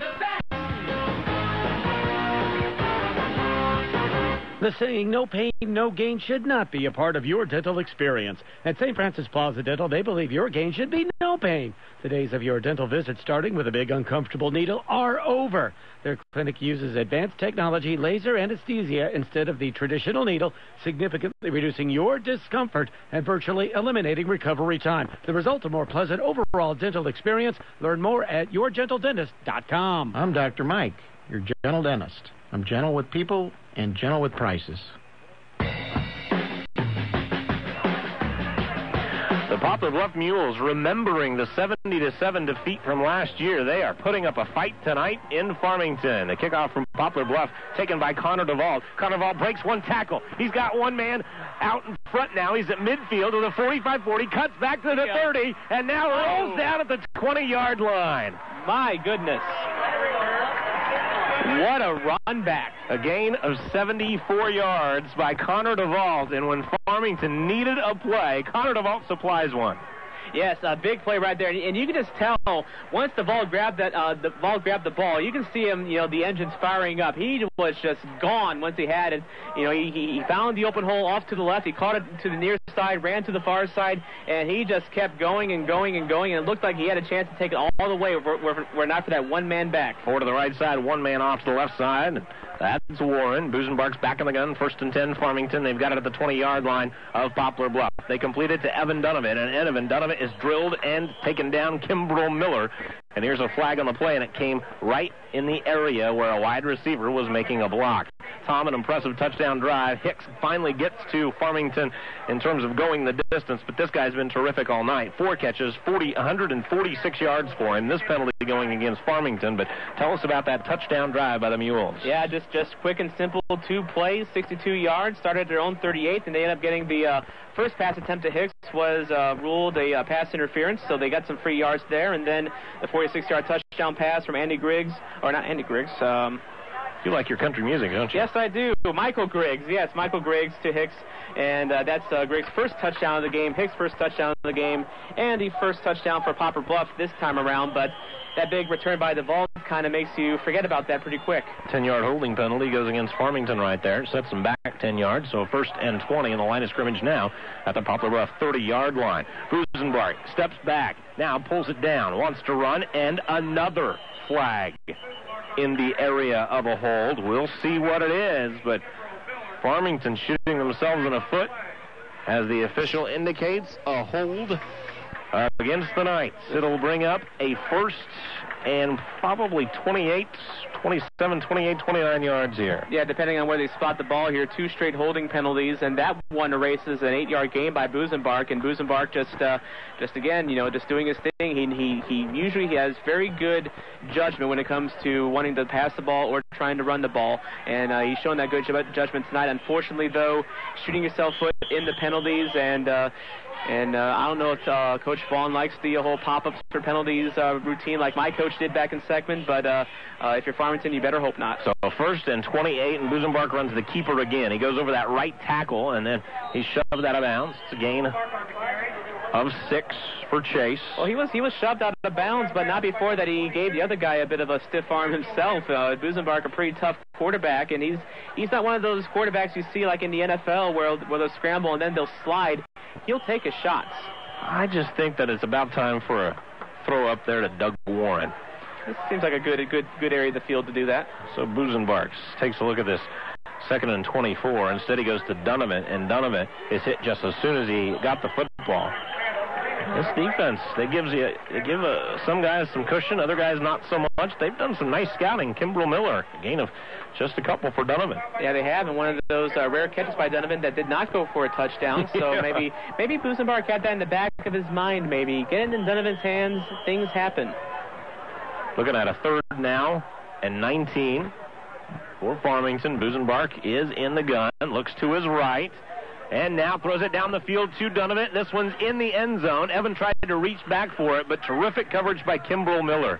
Yeah, it was. And Miller, that whole time, he did have awareness of where the ball was, and uh, and uh, some might say he might have face guarded him a little bit. I didn't see it. It was just good coverage by Miller, and uh, Miller is a name that we've been calling a lot tonight uh, for the Poplar Bluff defense. He had the interception earlier on, and he's just been doing a really good job on shutting down whoever he's matched up with. You know, Logan Bradley is capable of, I'm not suggesting that he should be out there, no. but he's capable of hitting a 46-yard field goal. Now, he's sick tonight, too, so yes. I, I wonder if he, w- if he were truly healthy, if Coach would think about it. Yeah, that has to be a big factor here. Fourth and 19. Busenbark back in the gun. Scrambles now. Heads toward the line of scrimmage. He's got to throw the football. He gains four yards and turns it over on downs. Well, yes, he did have to throw the ball there, but at the same time, you throw the ball and you throw an interception, and then something something else happens. So Busenbark maybe being a little bit protective, trying to get what he can, and when the Poplar Bluff takes the ball over here on first and ten, maybe give them not as good field position as uh, as uh, they could have. So Poplar Bluff football at its own 25-yard line. 6:37. We got a little drama building here. 6:37 remaining in the third. 17-7, and Poplar Bluff is the one that just had the big play, the big 46-yard touchdown pass, and they've got the football na- back now and forcing Farmington to give it over on downs. Griggs back in the gun. Two wide receivers off to the left, one to the right side. He drops back as he's out of the gun and completes the pass. It's a five-yard strike and a nice-looking pass that time to Darren Young. And a great tackle by Logan Bradley, too, and he timed it just right. You can see him as he was approaching the receiver, trying to time it so he doesn't hit him too early and get past interference. Just as he catches the ball, Bradley's in there for a textbook hit. Great defensive stop by Bradley. Yep. You can eliminate yards after the catch. Good news, unless, of course, the catch is 30 yards downfield. Like like they like to do. Like they have been doing. Gr- Griggs back in the gun once again. The snap is on the ground, and this time he's drilled for a four-yard loss. I'm not sure if that w- was supposed to be a run or a pass. Quite honestly, it didn't matter. The snap was on the ground. He was never really able to scoop it cleanly, and he's lucky he fell on top of And it. And now too. he's, he's he's limping here a little bit. Looks like he was favoring his uh, left leg there. He looks back to the bench, and uh, he's going to try to stay in here. It looks like, but he's uh, he's a little ginger out there. Yeah, he sure is. Alex Lewis is backup. He's just a sophomore, and Griggs is the senior. And not just a sophomore, a 5'9", 170 sophomore as well. So uh, Griggs coming in at six foot 165. Third and seven, and they gave Griggs a very generous spot that time. Griggs looks to his left. It's an out route, and it's good for a first down to guess who? Brian Hicks. I've been impressed with this guy tonight. Brian Hicks has been the man for Poplar Bluff tonight. That is for sure. And, and Griggs, Griggs loves throwing at him, and there and there's a reason for that. He's been he's been targeted many many times tonight, and there's a reason for that. Just that's because Hicks is a good player. And we're also seeing too Griggs, you know. The big completions before are starting to go by the wayside. We're seeing them, you know, five, ten yard passes here and there. Those are the routes he was missing earlier. He's hitting them now. Now he is hitting them, yes. And we haven't seen him, uh, I mean, besides the one pass to Hicks, not going deep too much. Got 100 now and 95 yards passing. Hands it off this time, though. Here's Lorenzo Daly dancing right through the middle of the line, taken down by Brendan Amsden after a five-yard gain. Daly getting a. Again, we haven't said his name too much tonight, as uh, Poplar Bluff liking to vary up their rushing attack a little bit here, but that one going good for five yards. He does lead them in rushing tonight, seven carries and 35 yards. And the big nose tackle for Farmington, Kyle Van Ness, going out, so Farmington expecting pass here in all likelihood. Jared Sumter moves over to the nose guard spot. Sumter at 170 pounds and a keeper from Griggs. Griggs needed five. Looks like he got about four, four and a half. Yeah, we're gonna call about four and a half here as Griggs on the keeper, and he's he's another one of those quarterbacks that, uh, like Busenbark, likes to run it himself. And and Griggs, he he had to be helped up by his teammates there. He's he's he looks like he's a little shaken up physically. Got to give him a lot of credit for staying out there and playing through this. It's a close game, 17-7 here in the third quarter, and he wants to go out there and win this one for Poplar Bluff. But he just uh, you can tell he's just he looks like he's fighting something, maybe with his. Uh, right leg, maybe. I don't know. He's trying to clear a few cobwebs, Well, that's that for too. sure. That too. 350 and counting down in the third quarter. And as Tom told us, 17 to 7. And Poplar Bluff is back on the march with a third and one. Handed off to Daly. Cuts back. Daly had it, was hit in the backfield. I think they grabbed his face mask. And then he jolts forward for a first down as well. And flags coming all over the place here, and it looks like that they're going to get someone for holding. Might be defensive, might be offensive. There was a scrum going on. They're going to say face mask on Farmington. You're right. So, so that's going to give Poplar Bluff here a freebie first down. Well, Daly did a little dance in the hole, and Yeah. uh, there was one man through that looked like he was going to have a shot at the tackle, but as he hit, as he hopped and skipped, the only thing that the Farmington defense could grab onto was a face mask at that point. Yeah, and, and Daly, his his legs are, are are are still probably fresh because he, as, as we mentioned, he's he, he's gotten a few carries tonight, but he's he's not been the been the feature guy tonight. We they've kind of spread it around amongst the rest of the team. Daly with eight tries and 39 yards. The only guy that's carried more than him, Griggs. Griggs has been a 14 carry guy for 14 net yards. Griggs looks to Hicks out route. Ooh, it sails by Hicks. No, he's got it. He got it. He got it. Hartrip closes down on him after a six-yard gain. And we just talked about Bradley timing his tackle very well, you know, at the point of the catch, and uh, Hartrip making another tackle as well, uh, just like Bradley did. Griggs now over 200 for the night, 201, and Brian Hicks getting close to a 200-yard night. Say close, he's a 161. He's closer than anybody else. Austin Goodrich, another one of those good athletes. He's going to go wide to the right side. Second and a long four, a short five. Take your pick. Twins to the left side. And Poplar Bluff moving the sticks. Daly has it now. Daly totes it through the middle of that nine and taken down by Brendan Amsden one-on-one. Gain of two. Nine carries, 41 yards for Daly. A third and a long three. Coming up for Poplar Bluff. Two minutes, 48 seconds remaining in the third frame. We've got a great ball game here. Yeah, 17-7. Farmington leads Poplar Bluff. And, Far- and Poplar Bluff still hanging in there. This has been the seventh play in the drive coming up here. You know what? The thing is, too, it doesn't. It- it's not. This hasn't been built on turnovers or, or fluky plays. This is Poplar Bluff standing in there and playing toe-to-toe football with Farmington. Yeah, they have. I mean, I mean, you know, you look at the turnover battle, you look at, you know, just just execution in general, and Poplar Bluff is right there. Griggs under center this time, hands to Daly, and Daly has three guys jump on top. The last one there was the big man, Roper Garrett, the middle linebacker. Amsden hit him early. He was able to just squirt free from him, and when Garrett arrived, that was it, a loss of a yard. Yeah, that was it. He had a, you know, at least a couple of uh, touches before he finally went down there in the backfield. So Poplar Bluff looks like they're uh, getting a new unit out there. Looks like they're going to punt this one away here. So uh, give Farmington credit. That was looking a little bit of a unsure drive there by Poplar Bluff if you're a Farmington fan.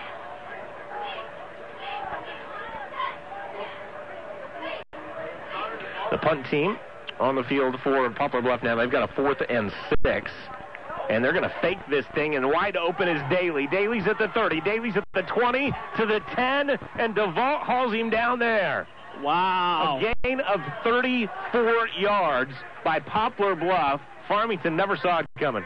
Well, didn't see. I didn't see that one coming either. It looks like they were just convinced to, that they were going to punt it away, but some flags here on the field, and if this comes back, ouch, if Well, you're Poplar Bluff. I'm not sure exactly what happened, but I saw what happened. I saw the result of it. And the, the result of it was Doug Warren getting back up off the ground without his helmet.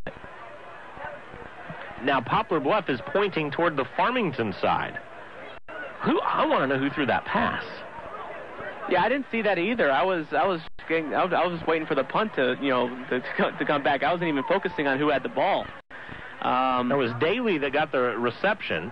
Right. And it would be a 34-yard gain on the reception. And there's two flags there on the field, and the refs are discussing something here. And it looks like they're in a pretty deep discussion over whatever happened. Uh, I'm not sure if they're discussing whether it was a penalty at all, or maybe they're questioning the spot. I didn't see what, what, what could have happened. I was focused more on, on, on the pass itself. Well, it was a couple players getting mixed up in the middle of the field. Yeah. What it was away from the ball. Um, so maybe some unsportsmanlike coming up here, maybe? I don't know. Well, well, don't know. Well, ref picks up one flag, and the second flag's also picked up. We still haven't received word from the head ref what's going on. There are two referees in the middle of the field, and there are two emissaries, one to each side, talking to the coaches. And here's the signal now, looks like. So they'll go personal foul, Farmington, personal foul, Poplar Bluff, and ejections. Wow. And well, the- you you said it. There was a bit of a scrum there, and, And it, the it- play stands. and- yeah, so the, the the the penalties cancel each other out. The result stands, and and you saw it out there in the middle of the field. You know they were having a bit of a scrum, and some boost coming out here uh, over the ejections, and uh, mainly from this side of the field, it would seem. So Lorenzo Daly catches the fake punt for a reception for 34 yards, and Poplar Bluff is in business here. They've got it at the Farmington 10-yard line, 133 remaining in the third. They have pitched a second half shutout so far against this Farmington offense, and they've scored the only touchdown in the second half, and are now deep in Farmington territory once again. Here's the quarterback, Michael Griggs. Griggs looks deep in the end zone for Austin Goodrich, throws it toward the pylon. Almost a nice catch. It was a nice effort by Austin Goodrich, and really not a bad place to put the ball by Michael Griggs. No, that's where you want it, right there in that back corner. If you're going to throw a fade, you want to try to aim for that back pylon there, the back right one. Goodrich laying out for that one, and it looks like, you know, from here he, he had a good chance at hauling that one in. It just ended up uh, going through his hands, but uh, that was that was a good-looking play by Poplar Bluff. Just didn't work out. So a second and 10 just outside of the 10-yard line, the line of scrimmage. Griggs going under center here is running back Cornelius Timothy. Two wide receivers to the right side, one to the left, and now they're going to run a reverse, and the reverse pops in and out of the hands of Poplar Bluff. They reversed it to Kimbrell Miller, and the reverse was put right in his breadbasket. And but then he fumbled it, popped it up in the air, and in trying to chase it down, the Knights come up with it. And the third time, Tom, My goodness. that Poplar Bluff has been at the 10-yard line of Farmington and has been turned away for no points. Yeah, that that hurts. That hurts because this game could be a lot closer were it not for you know the turnover on downs and this right here, plays like this right here. Looks like from this point that Poplar Bluff might have pounced on that ball, but of course and, and you know underneath all that scrum, a lot of hands going around. You don't know how many times that ball changes hands. That is a massive, massive play in this game. I thought the fake punt was a massive play, but now here's uh, a play that turns it right around again, and Farmington has it. Timeout Knights. 115 remaining in the third. 17-7 our score, and Farmington's got the ball back at its own 25-yard line. We'll tell you more in a minute right here on KREI Farmington and KLID Poplar Bluff. Hi, this is Jeff at Cartridge World. Customers continue to ask which cartridges we fill. Well, that's easy. Almost every ink and toner cartridge on the market today. And a lot of people ask where we're located. Well, that's easy too. Right next to Fitness Fuel on the back side of the Maple Valley Shopping Center in Farmington. And finally, many ask, will I save money? The easiest question yet. Of course you will. We're Cartridge World in Farmington. We make it easy for you to save money at Cartridge World. When it's time to paint, it's time to visit County Do It Center. Whatever your painting project requires, they have it all. Their friendly staff can mix custom colors to complement any decorating scheme and offer helpful, knowledgeable advice. The Do It Best quality paint line is one of the fastest growing private brands in the industry. At County Do It Center, they have more than paint, lumber, and hardware. They have solutions. County Do It Center. They have two great locations to serve you in Bloomsdale and St. Genevieve. Anthony Greco gets his first carry of the game for Farmington. It's a three-yard tote around the right side. Tom just received word that it was the quarterback that was the up man on that fake punt, so it was Griggs that completed that 34-yard pass on that fake punt. But then the turnover by Poplar Bluff. Chase Busenbark rolling to the left side. He chucks that out of bounds while he has time. Goes back to the line of scrimmage, but he ate it three yards deep, and it brings up a third and nine. Yeah, I'm not sure if Busenbark maybe thought that he could have turned the corner there and took it upfield, but uh, obviously if you're Coach Todd Vaughn, you want to try to teach your quarterbacks at that point to get rid of the ball and, and, and, and not take the yards. And, you know, but of course on, on one benefit is that you do take some time off the clock as you have 18 seconds left here in the third quarter. Farmington will not have to snap the ball again in the third, and they'll walk over to their sideline. So we go to the fourth with, it, with this thing in doubt. Farmington 17, Poplar Bluff 7. We go to your fourth quarter after this one-minute timeout. Hi, this is Jeff and Paige from Auto Spa Car Washes. When you wash your car, truck, boat, motorcycle, four wheeler, or whatever wheeler at Auto Spa, you're using our exclusive Cotton Soft water system. This system will clean your whatever wheeler, leaving it spot free with a finish that looks great today and for years to come. Wash your car at Auto Spa, home of the free air freshener. To find an Auto Spa near you, go to myautospa.net. Wash your car. Wash your car. Wash, Wash your, your car, car, at, Auto Spa. When it comes to collision repair on your vehicle, call Brad Wooten and the team at Crown Collision Center. For nine straight years, Crown Collision Center has been ranked third in the nation in customer satisfaction at 98%. Recognized by Motor Trend magazine, they perform all collision repairs on any make and model, foreign or domestic. All done by factory-trained certified technicians and they're five-star rated. State-of-the-art facility, and all work carries a written lifetime warranty. Call Brad Wooten for your collision repair at Crown Collision Center, 800-996-2566.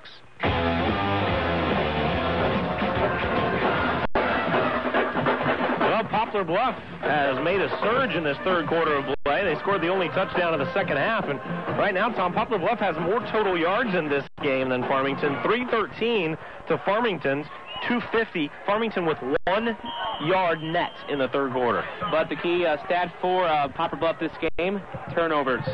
Two of them in critical points. One to fumble, one interception early on. Good call. Chase Busenbark back in the gun. He's back in the pocket, throws it over the top to Connor DeVault. Grabs it at the 45, and he's just dragged down at the 25-yard line. A 50-yard gain and a great catch and run by Connor DeVault.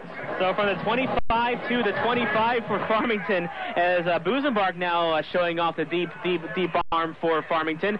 50-yard uh, catch to Connor DeVault, and now Farmington in a position where if they get some points here on this drive, they can breathe a little bit easier. What a multi-skilled athlete. Connor DeVault runs tough, runs fast, and a great wide receiver when you need him there as well.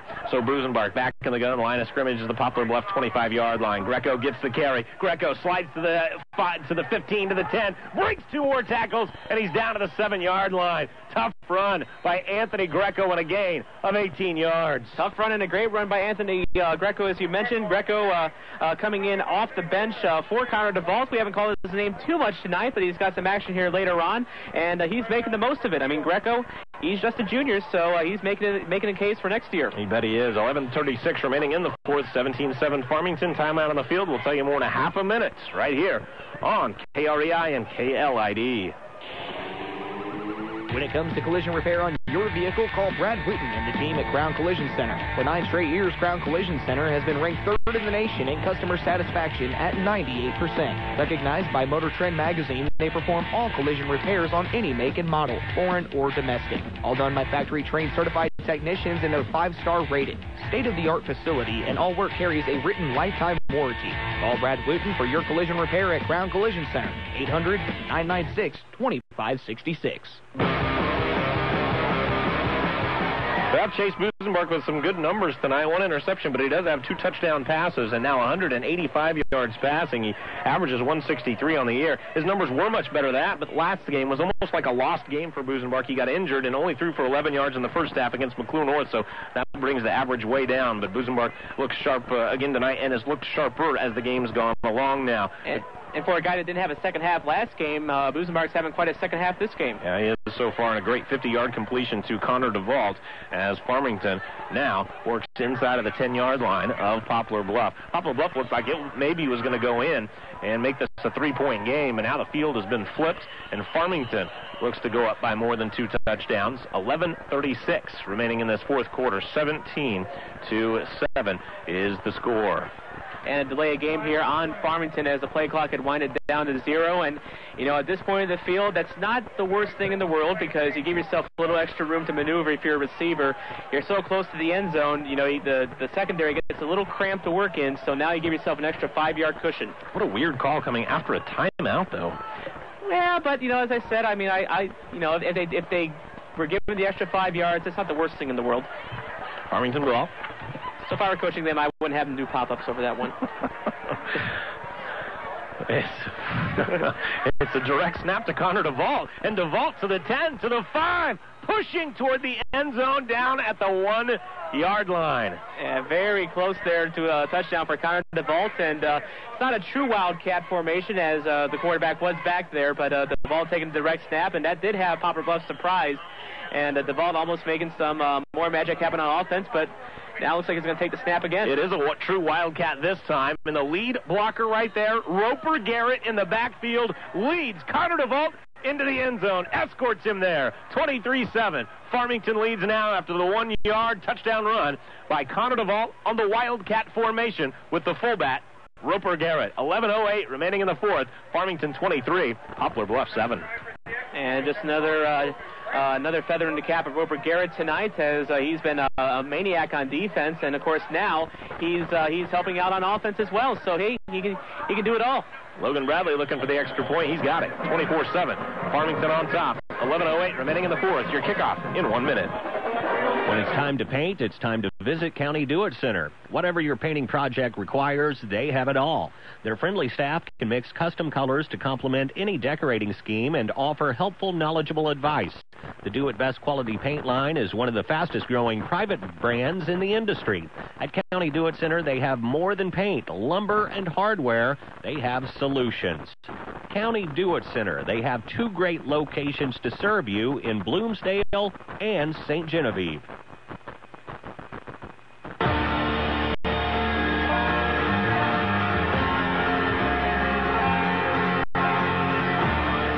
Speaker, Tom Willenbury here. Kathy Capias back at the studio. Appreciate her good work as well. We'll remind you to tune in after the ball game for our end zone ball game over on J98 tonight. Central is at Hillsboro on our affiliate KJFF. That's 1400 on your AM dial. Festus is at DeSoto. And providing updates for us tonight is Luke Turnbow, Potosi at Fredericktown. Here's Logan Bradley. Swings that big right leg and sends this one over to the far corner.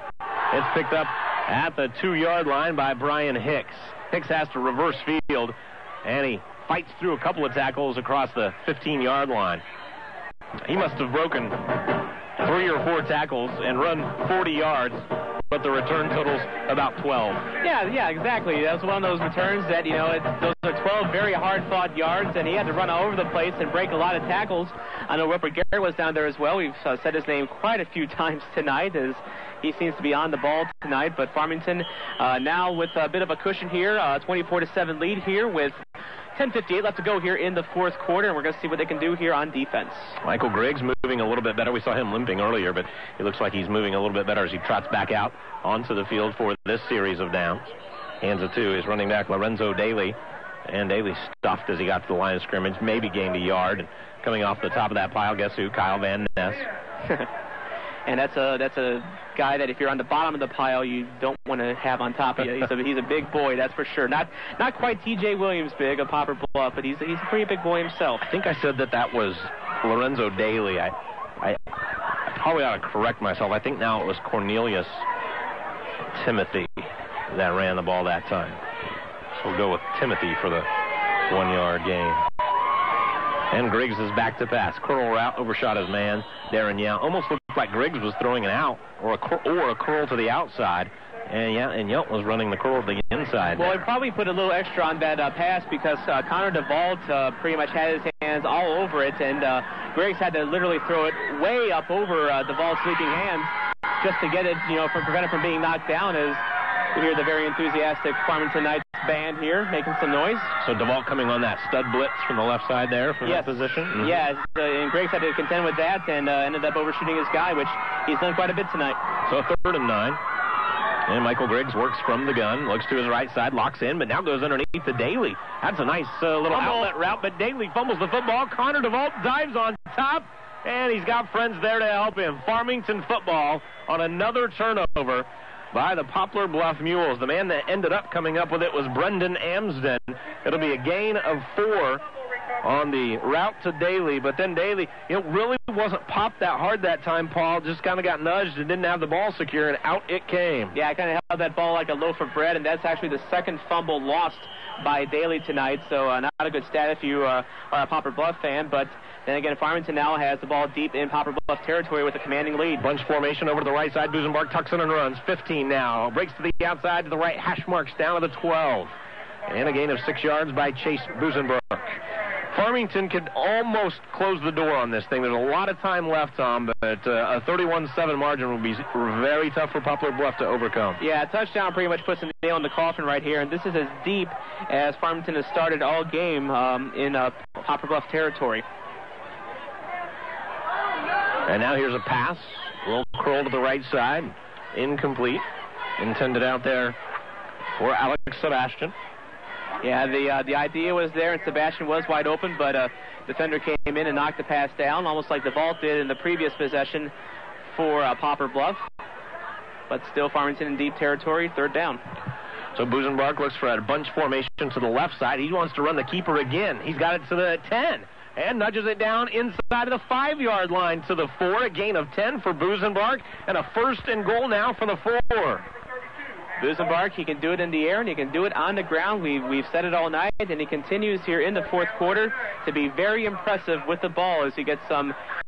Uh, actually, he's going to take a little bit of a breather here. So he's going like. to trot over to the sideline, and once again, we see Connor DeVault, and also in the backfield, we see Roper Garrett. This has been kind of a fun formation. Yeah, it has been. We'll see. Uh, in, in, addition to see what DeVault can do, it's going to be interesting to see what Garrett does here. Well, Roper, Roper, Garrett was the team's leading rusher last year. He had he had 444 yards, but now he wears number 60, and he serves as a lineman. And he's going to lead block this time for DeVault once again. And DeVault noses it into the end zone. Touchdown, Farmington. A four-yard touchdown run by Connor DeVault. And it's that Wildcat once again with Roper Garrett leading the way. 9.04 remaining in this fourth quarter, 30 to 7. Farmington leads Poplar Bluff. Four play, 19-yard drive there for the Farmington Knights, uh, going for the touchdown. Four-yard touchdown run by Connor DeVault. DeVault's second score here on the night tonight. So we saw the two touchdown passes by Busenbark earlier. DeVault now getting it done on the ground. Pretty big fumble by Poplar Bluff right there. That may have removed any shot that they might have at this game. Extra point is up and through. 9.04 remaining in the fourth. 31-7. Farmington leads Poplar Bluff. Your kickoff in a minute. in Farmington is proud to be a part of the community and is committed to being a good corporate citizen and partner in the Farmington community. Accent Marketing in Farmington wish all the area athletes a great season and encourages people everywhere to attend and support area sporting and community events. Accent Marketing believes in supporting and encouraging our area youth and believes in community in which we live. This message brought to you by your friends at Accent Marketing in Farmington. If you're looking for those hard to find craft items, then look no further than Red Rooster Crafts and Supplies in Farmington. They offer what the big chain stores don't. In fact, if you don't find what you're looking for, Tracy will be glad to order it. Plus, Red Rooster Crafts offers custom picture framing and lots of new home decor, including nautical, western, Americana, and rooster themed items. Check out the new line of cookie cutters and home decor outdoor flags. That's Red Rooster Crafts behind the post office in Farmington. Well, the turnover turns into points for Farmington, Tom, and after really fighting hard to get back into this game, Poplar Bluff has made some errors, and Farmington has taken advantage. Yeah, Poplar Bluff staying in this game throughout up until the beginning of the fourth quarter when Farmington got uh, two touchdowns here based on turnovers by Poplar Bluff. Brian Hicks has it all the way back at his one-yard line, and a block in the back on the return as Hicks brings it out to the 20, and they'll scoot this thing back to the 10. That third quarter was a terrific quarter for Poplar Bluff. They outgained Farmington 115 to 1 in the third quarter and outscored them 7 nothing. Yep, but the story here is is turnovers and blown opportunities. You know, they got the ball down to the Farmington 22 the first drive. Bailey uh, Daly fumbled it. Farmington takes over, and there's there's just more from there. Turnover on downs at the Farmington 5, uh, another turnover on downs on the Farmington 31, uh, at the Farmington 10. It's just it's just so many opportunities that Poplar Bluff has had to, to, to make their mark on this game that they, they, they leave at the doorstep. A little bit like what Farmington now starting to take advantage. A little bit like what Todd Vaughn told us in the pregame show. He said they they have pretty good players and they do some nice things. He said, but, but they still make a few errors that cost them, and that's exactly what's happened. Exactly, and it's all up to uh, Farmington to take advantage of those errors, and they're really starting to now. 31-7, Farmington leads here. Griggs hands it off, and the blitz came that time from Roper Garrett, and no chance for the running back there, but a flag on the play. And uh, and from here, it looked like the running back slipped on the play, but then, then again, it could have been he just saw Roper Garrett coming and might have gotten a little scared because Garrett's just been all over the place tonight. I mean, or a third option, a face mask. Well, that works too, you know. that works too. And that's what they'll call. And of course, that's big because that's going to give uh, an automatic first down for Poplar Bluff. It looks like they did give him the 15-yard variety. Just a five. Okay, they, it is, it's just a five, but it's still a first down.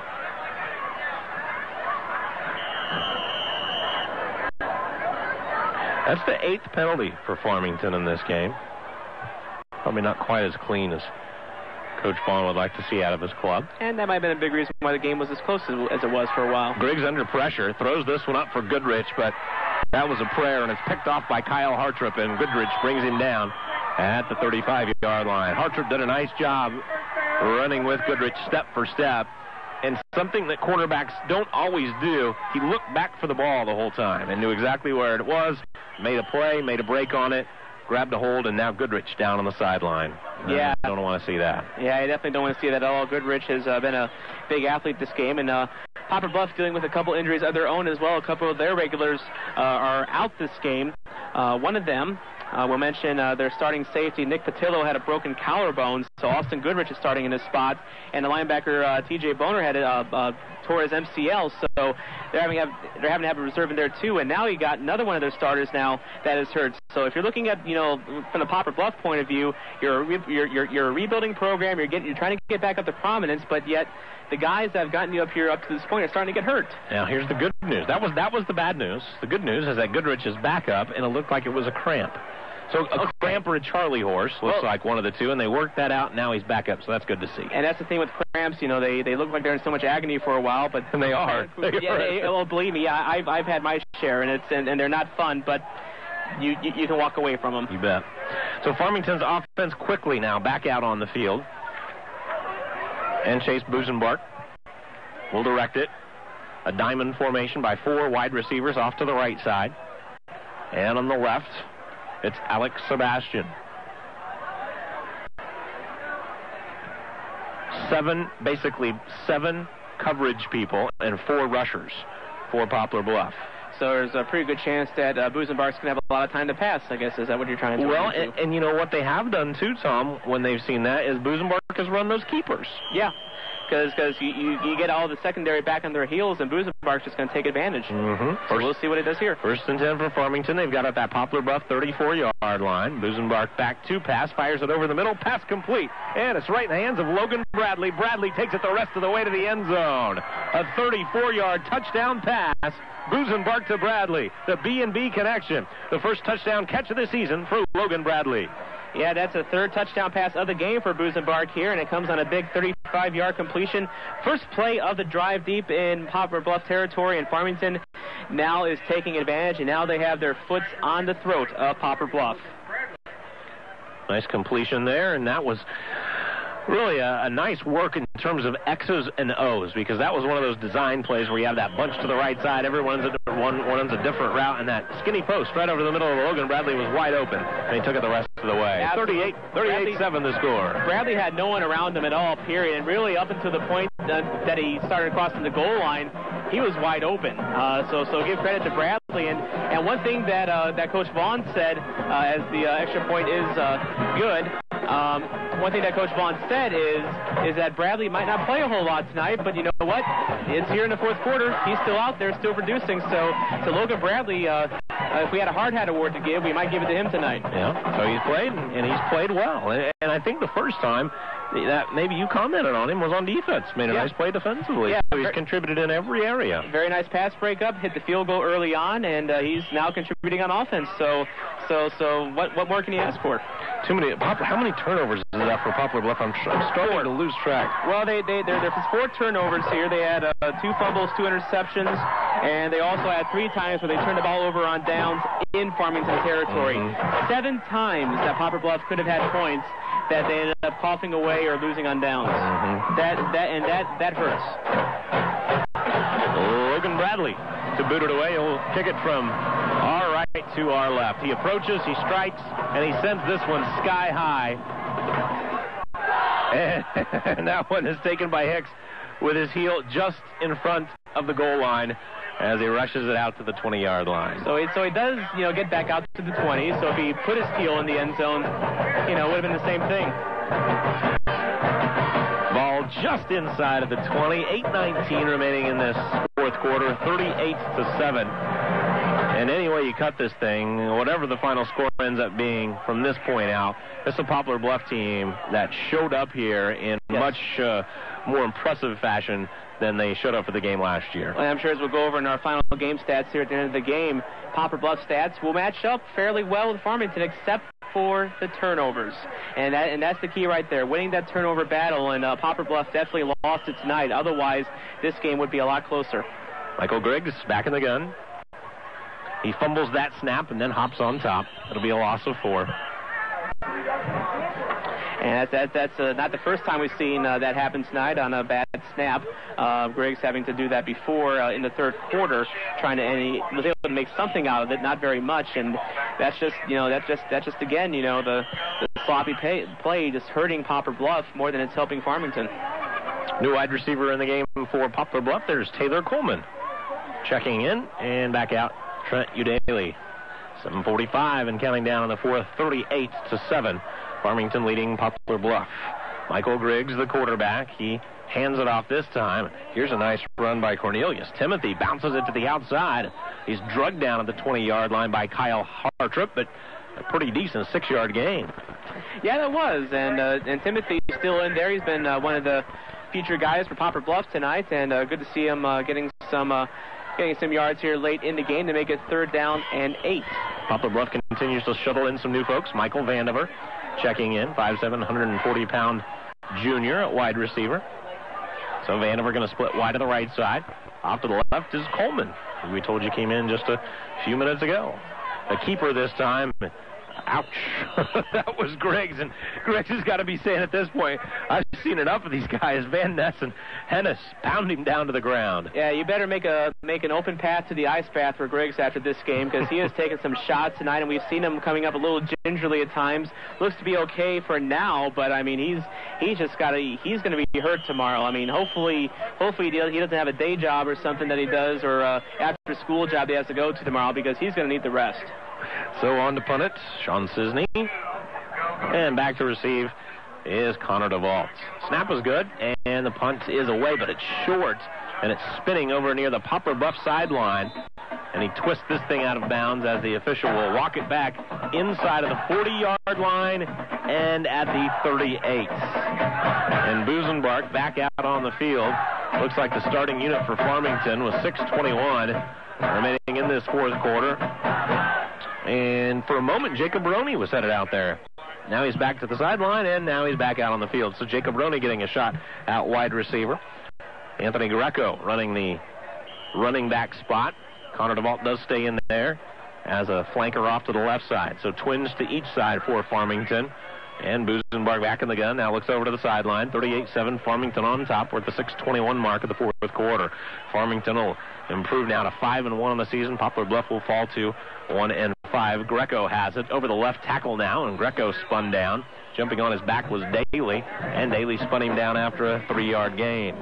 Very nice tackle there by Daly as uh, Greco slams his back into the ground pretty hard there. And uh, Bluff still, uh, there's still uh, still a game to be played here with uh, six minutes left to go here in the fourth quarter. And now we're going to see the point of the game where the second stringers is going to get their chance to shine. Uh, maybe not for this season, but maybe to give the coach something to remember about for next season. Busenbark hands it off to Greco again, and Greco is nailed in the hole, and I mean nailed, and driven straight back. What a shot right there.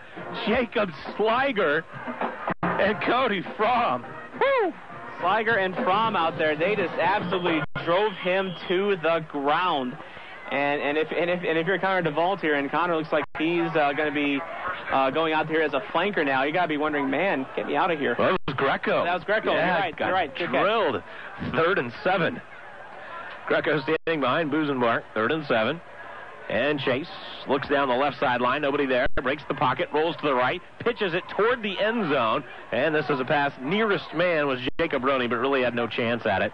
And that's an incompletion for Busenbark. And let's and let's give um, also Greco a lot of credit there because uh, Busenbark had a guy bearing down on his backside, and Greco did a really good job matching up against a guy that's much bigger than him. Unfortunately, his number is 99, and we don't have a 99 on our roster. Well, they, they do. They had, they had a change, and that's Quentin Michael. He's Thank you. 6'3", 230. So you're right. He is much larger than Greco listed at 5'9", and, and, and Greco stood right up to him. And by the way, we should mention Quentin Michael is not the Rams safety playing for Poplar Bluff tonight. They're two different people. so let, let, let, let's just make sure we're clear on that. Important note. And now here's a quick kick on a fourth down as Busenbark punted it away from his quarterback spot. Good punt. And did a nice job. Yeah, it wasn't the prettiest thing, but this thing continues to roll all the way down to the six-yard line. And now a very late flag as things are getting a little chippy out there. Yeah, tempers are and now flowing here. another late flag. Yeah, some things are being said that we can't hear and can't pick up on our mics, which might be a good thing. Um, as uh, the refs are now talking it over here. We already had one instance tonight on that fake punt by Poplar Bluff where they were uh, dueling personal fouls and ejections. So uh, we'll see if uh, what, what happens here. Looks like might be some more personal fouls coming. Hope we don't want to see any ejections, but uh, we'll see what the refs determine here. Is we have 4:57 left to go here in the fourth. Farmington up 38 to seven. White hat says personal foul going against Poplar Bluff. And another ejection. Now, he made s- uh, some interesting gesticulations right there. He, he- pointed at first toward Poplar Bluff, then he pointed toward Farmington, then he pointed back toward Poplar Bluff, then he uh, he gave the ejection signal. So I'm not positive how this is all going to hash out, but it, it appears that we have a, our second ejection of the game. Well, and it appears that we do have personal fouls on the play as well. And the player that was ejected for Poplar Bluff, Lake Lotterette, the defensive end, uh, uh, he, uh, in, a, in a display of anger, tossed his helmet here on the sideline, and uh, one of the coaches told him to pick it up right away. But he is. He's not a happy camper, and, and he has and he has some reasons to be frustrated. I mean, I, I mean, on the Poplar Bluff side, they had their chances tonight, and it's and it's, and it's frustrating when you're on the side of Poplar Bluff to uh, to have so much progress on offense tonight and just Little things just just just just keep snake biting you. And it appears that it will not be an offsetting foul. In fact, this will back Poplar up. Bob Bluff inside of their own 10 back to the seven yard line. And I think I had, I think you had, what was word you used, gesticulations pretty, uh, pretty much well down because it looked like there was two on Poplar Bluff and one on Farmington. So net one for uh, Poplar Bluff, and that gives Farmington uh, very cushy field position down at the Poplar Bluff four. So Farmington will have the football. Beg your pardon. I beg your pardon. Poplar Bluff will have the football. Oh, that's right, Poplar Bluff will have the after the, sorry. after the quick kick by Busenbark. And they are scooted back into the shadow of their own end zone. Here comes Jared Sumter into the ball game for Farmington. Sumter going to play some defensive end here. He's a starter, but wasn't out there initially. Now runs back out. And it's a first and 10 for Poplar Bluff. 4.57 remaining in the fourth quarter. And Poplar Bluff with the football at its own three-yard line. And the uh, head ref talking to uh, head coach Mark Baruch for Poplar Bluff. Maybe giving him some advice to just, you know, keep things cool, keep things down. I mean, there is uh, there is still five minutes left to play here, and you don't want to see tempers flaring out too much here um, uh, in a game like this. I mean, Poplar Bluff. I mean, really. I mean, outside of the turnovers, they really don't have a lot to hang their head about here. I mean, they they, they did they did come out here and play very played very strong, and it just you know, it's it's again on on the Poplar Bluff side. You know, it has to be disappointing to see what's happened. You know, especially just in this fourth quarter alone. For three quarters, Poplar Bluff was right in the mix of this. 17-7. Yes, and and it just And, and it had outgained Farmington after three. but it's just kind of gotten away from them here in the fourth quarter. Now we're just seeing the the frustration kind of building, you know, on the Poplar Bluff side, and you know, it's it's it's it's, un- it's unfortunate to see because Poplar Bluff is a program, you know, that that they are showing signs of coming back, and you don't want to see these kind of mental lapses drag them down. Finally, the white hat back out on the field. And here comes Alex Lewis. Alex Lewis is the backup quarterback for this team. Yeah, Farmington's made uh, Michael Griggs tonight uh, pretty much uh, a tough one, let's call it. I won't call it living hell, but it was pretty much uh, it was tough. Griggs did throw for 239. Well, he did, but he, he also took a lot of hits. Took a lot of hits, he Took a lot of hits, and I guess, and I guess the, the the pain and suffering is over for Griggs. Alex Lewis comes down under center. And he's just going to nudge behind his big lineman right here and just see if he can push this thing out away from the goal line a little bit. Yeah, trying to avoid that safety, and He's tackled right where he started. And so no gain on the play. of course Farmington. We were one of the stories that we were talking about coming into this game was coming off the uh, big loss last week to McCluer North, getting a, a bit of a rude awakening from a Class Six power program, and kind of wondered how they come back and respond tonight. And uh, and, it, and Poplar Bluff played them tough for a long time, but we saw here in the fourth quarter that you play, you know, the whole 48 minutes, and and that's what Farmington has done so far. Cornelius Timothy in the backfield. They're going to keep it right in the hands of their quarterback Lewis this time, and he's going to try to nudge out from the end zone one more time. Already three safeties on the year, by the way, by the Farmington defense. And once again, stuffed at the line, no gain, and brings up a third and ten. So the ball still still here on the two yard line, so they're probably going to try to push this out a little bit more and give their punters some room to punt here. 350 and counting down in the fourth quarter.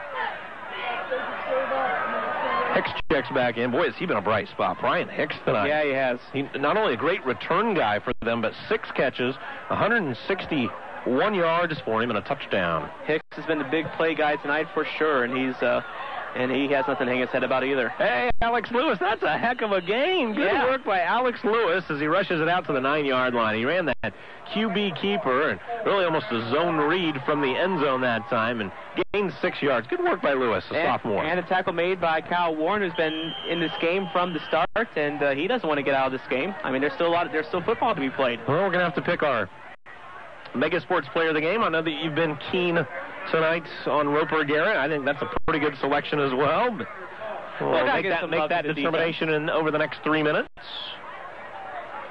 Connor DeVault to receive the punt.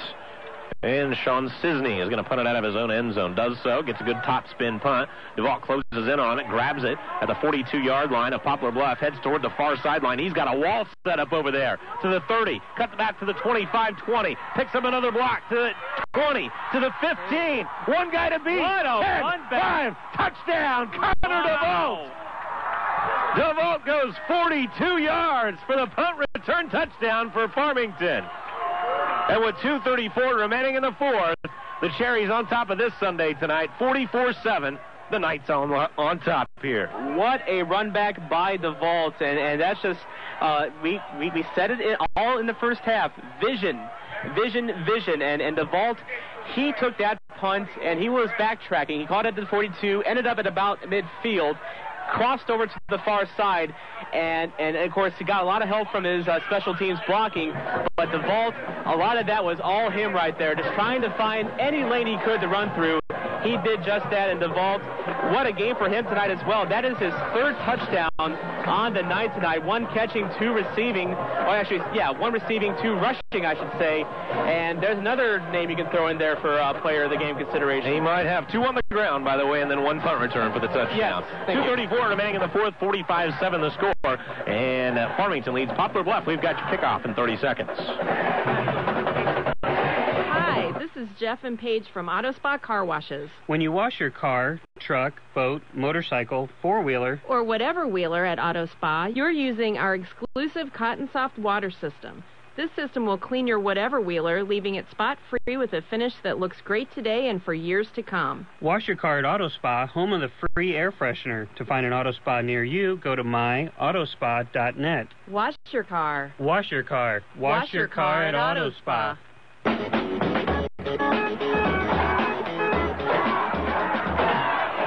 Logan Bradley on for the kickoff. A breathtaking punt return by Connor DeVault. 42 yards. And now here's Bradley putting his right foot into this one. Brian Hicks, the deep man, catches it at his own one yard line.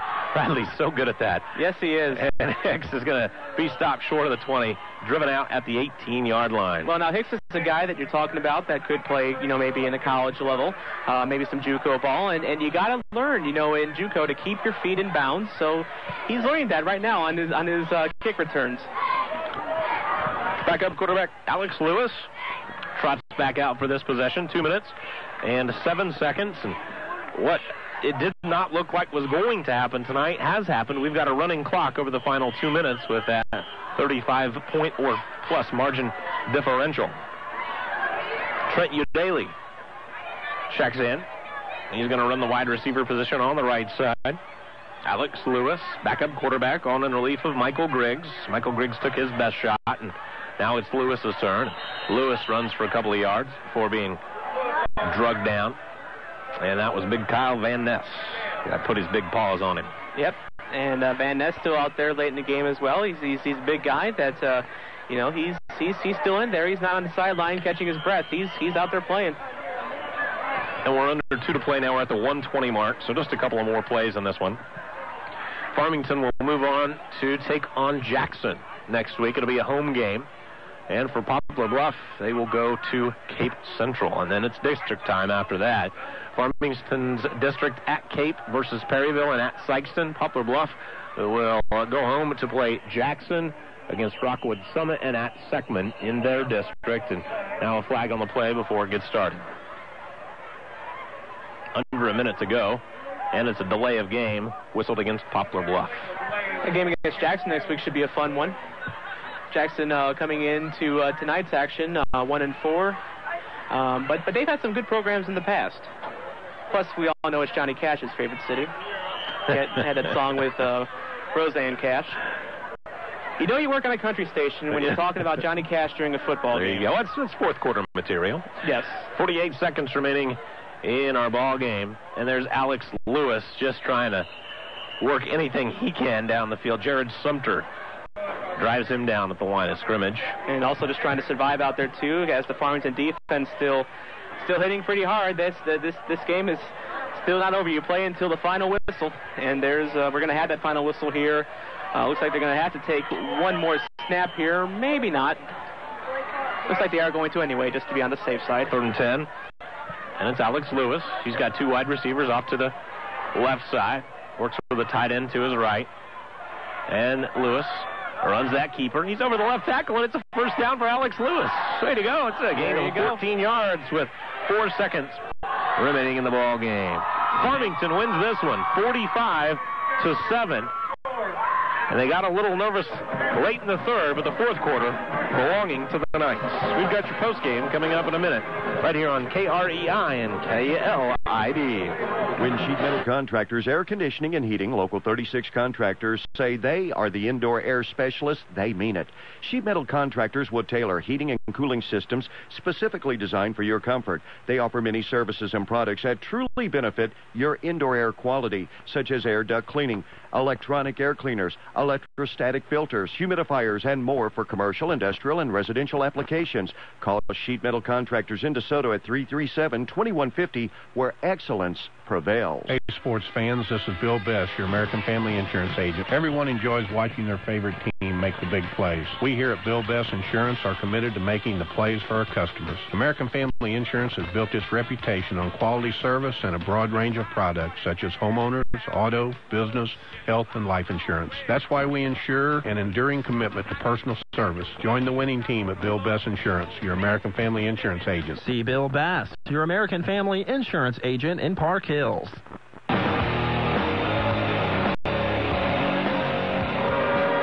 All right, let's take a look at some of the final numbers for you tonight on both sides of the ball. There were some very nice individual performances along the way. 239 yards passing by Michael Griggs tonight.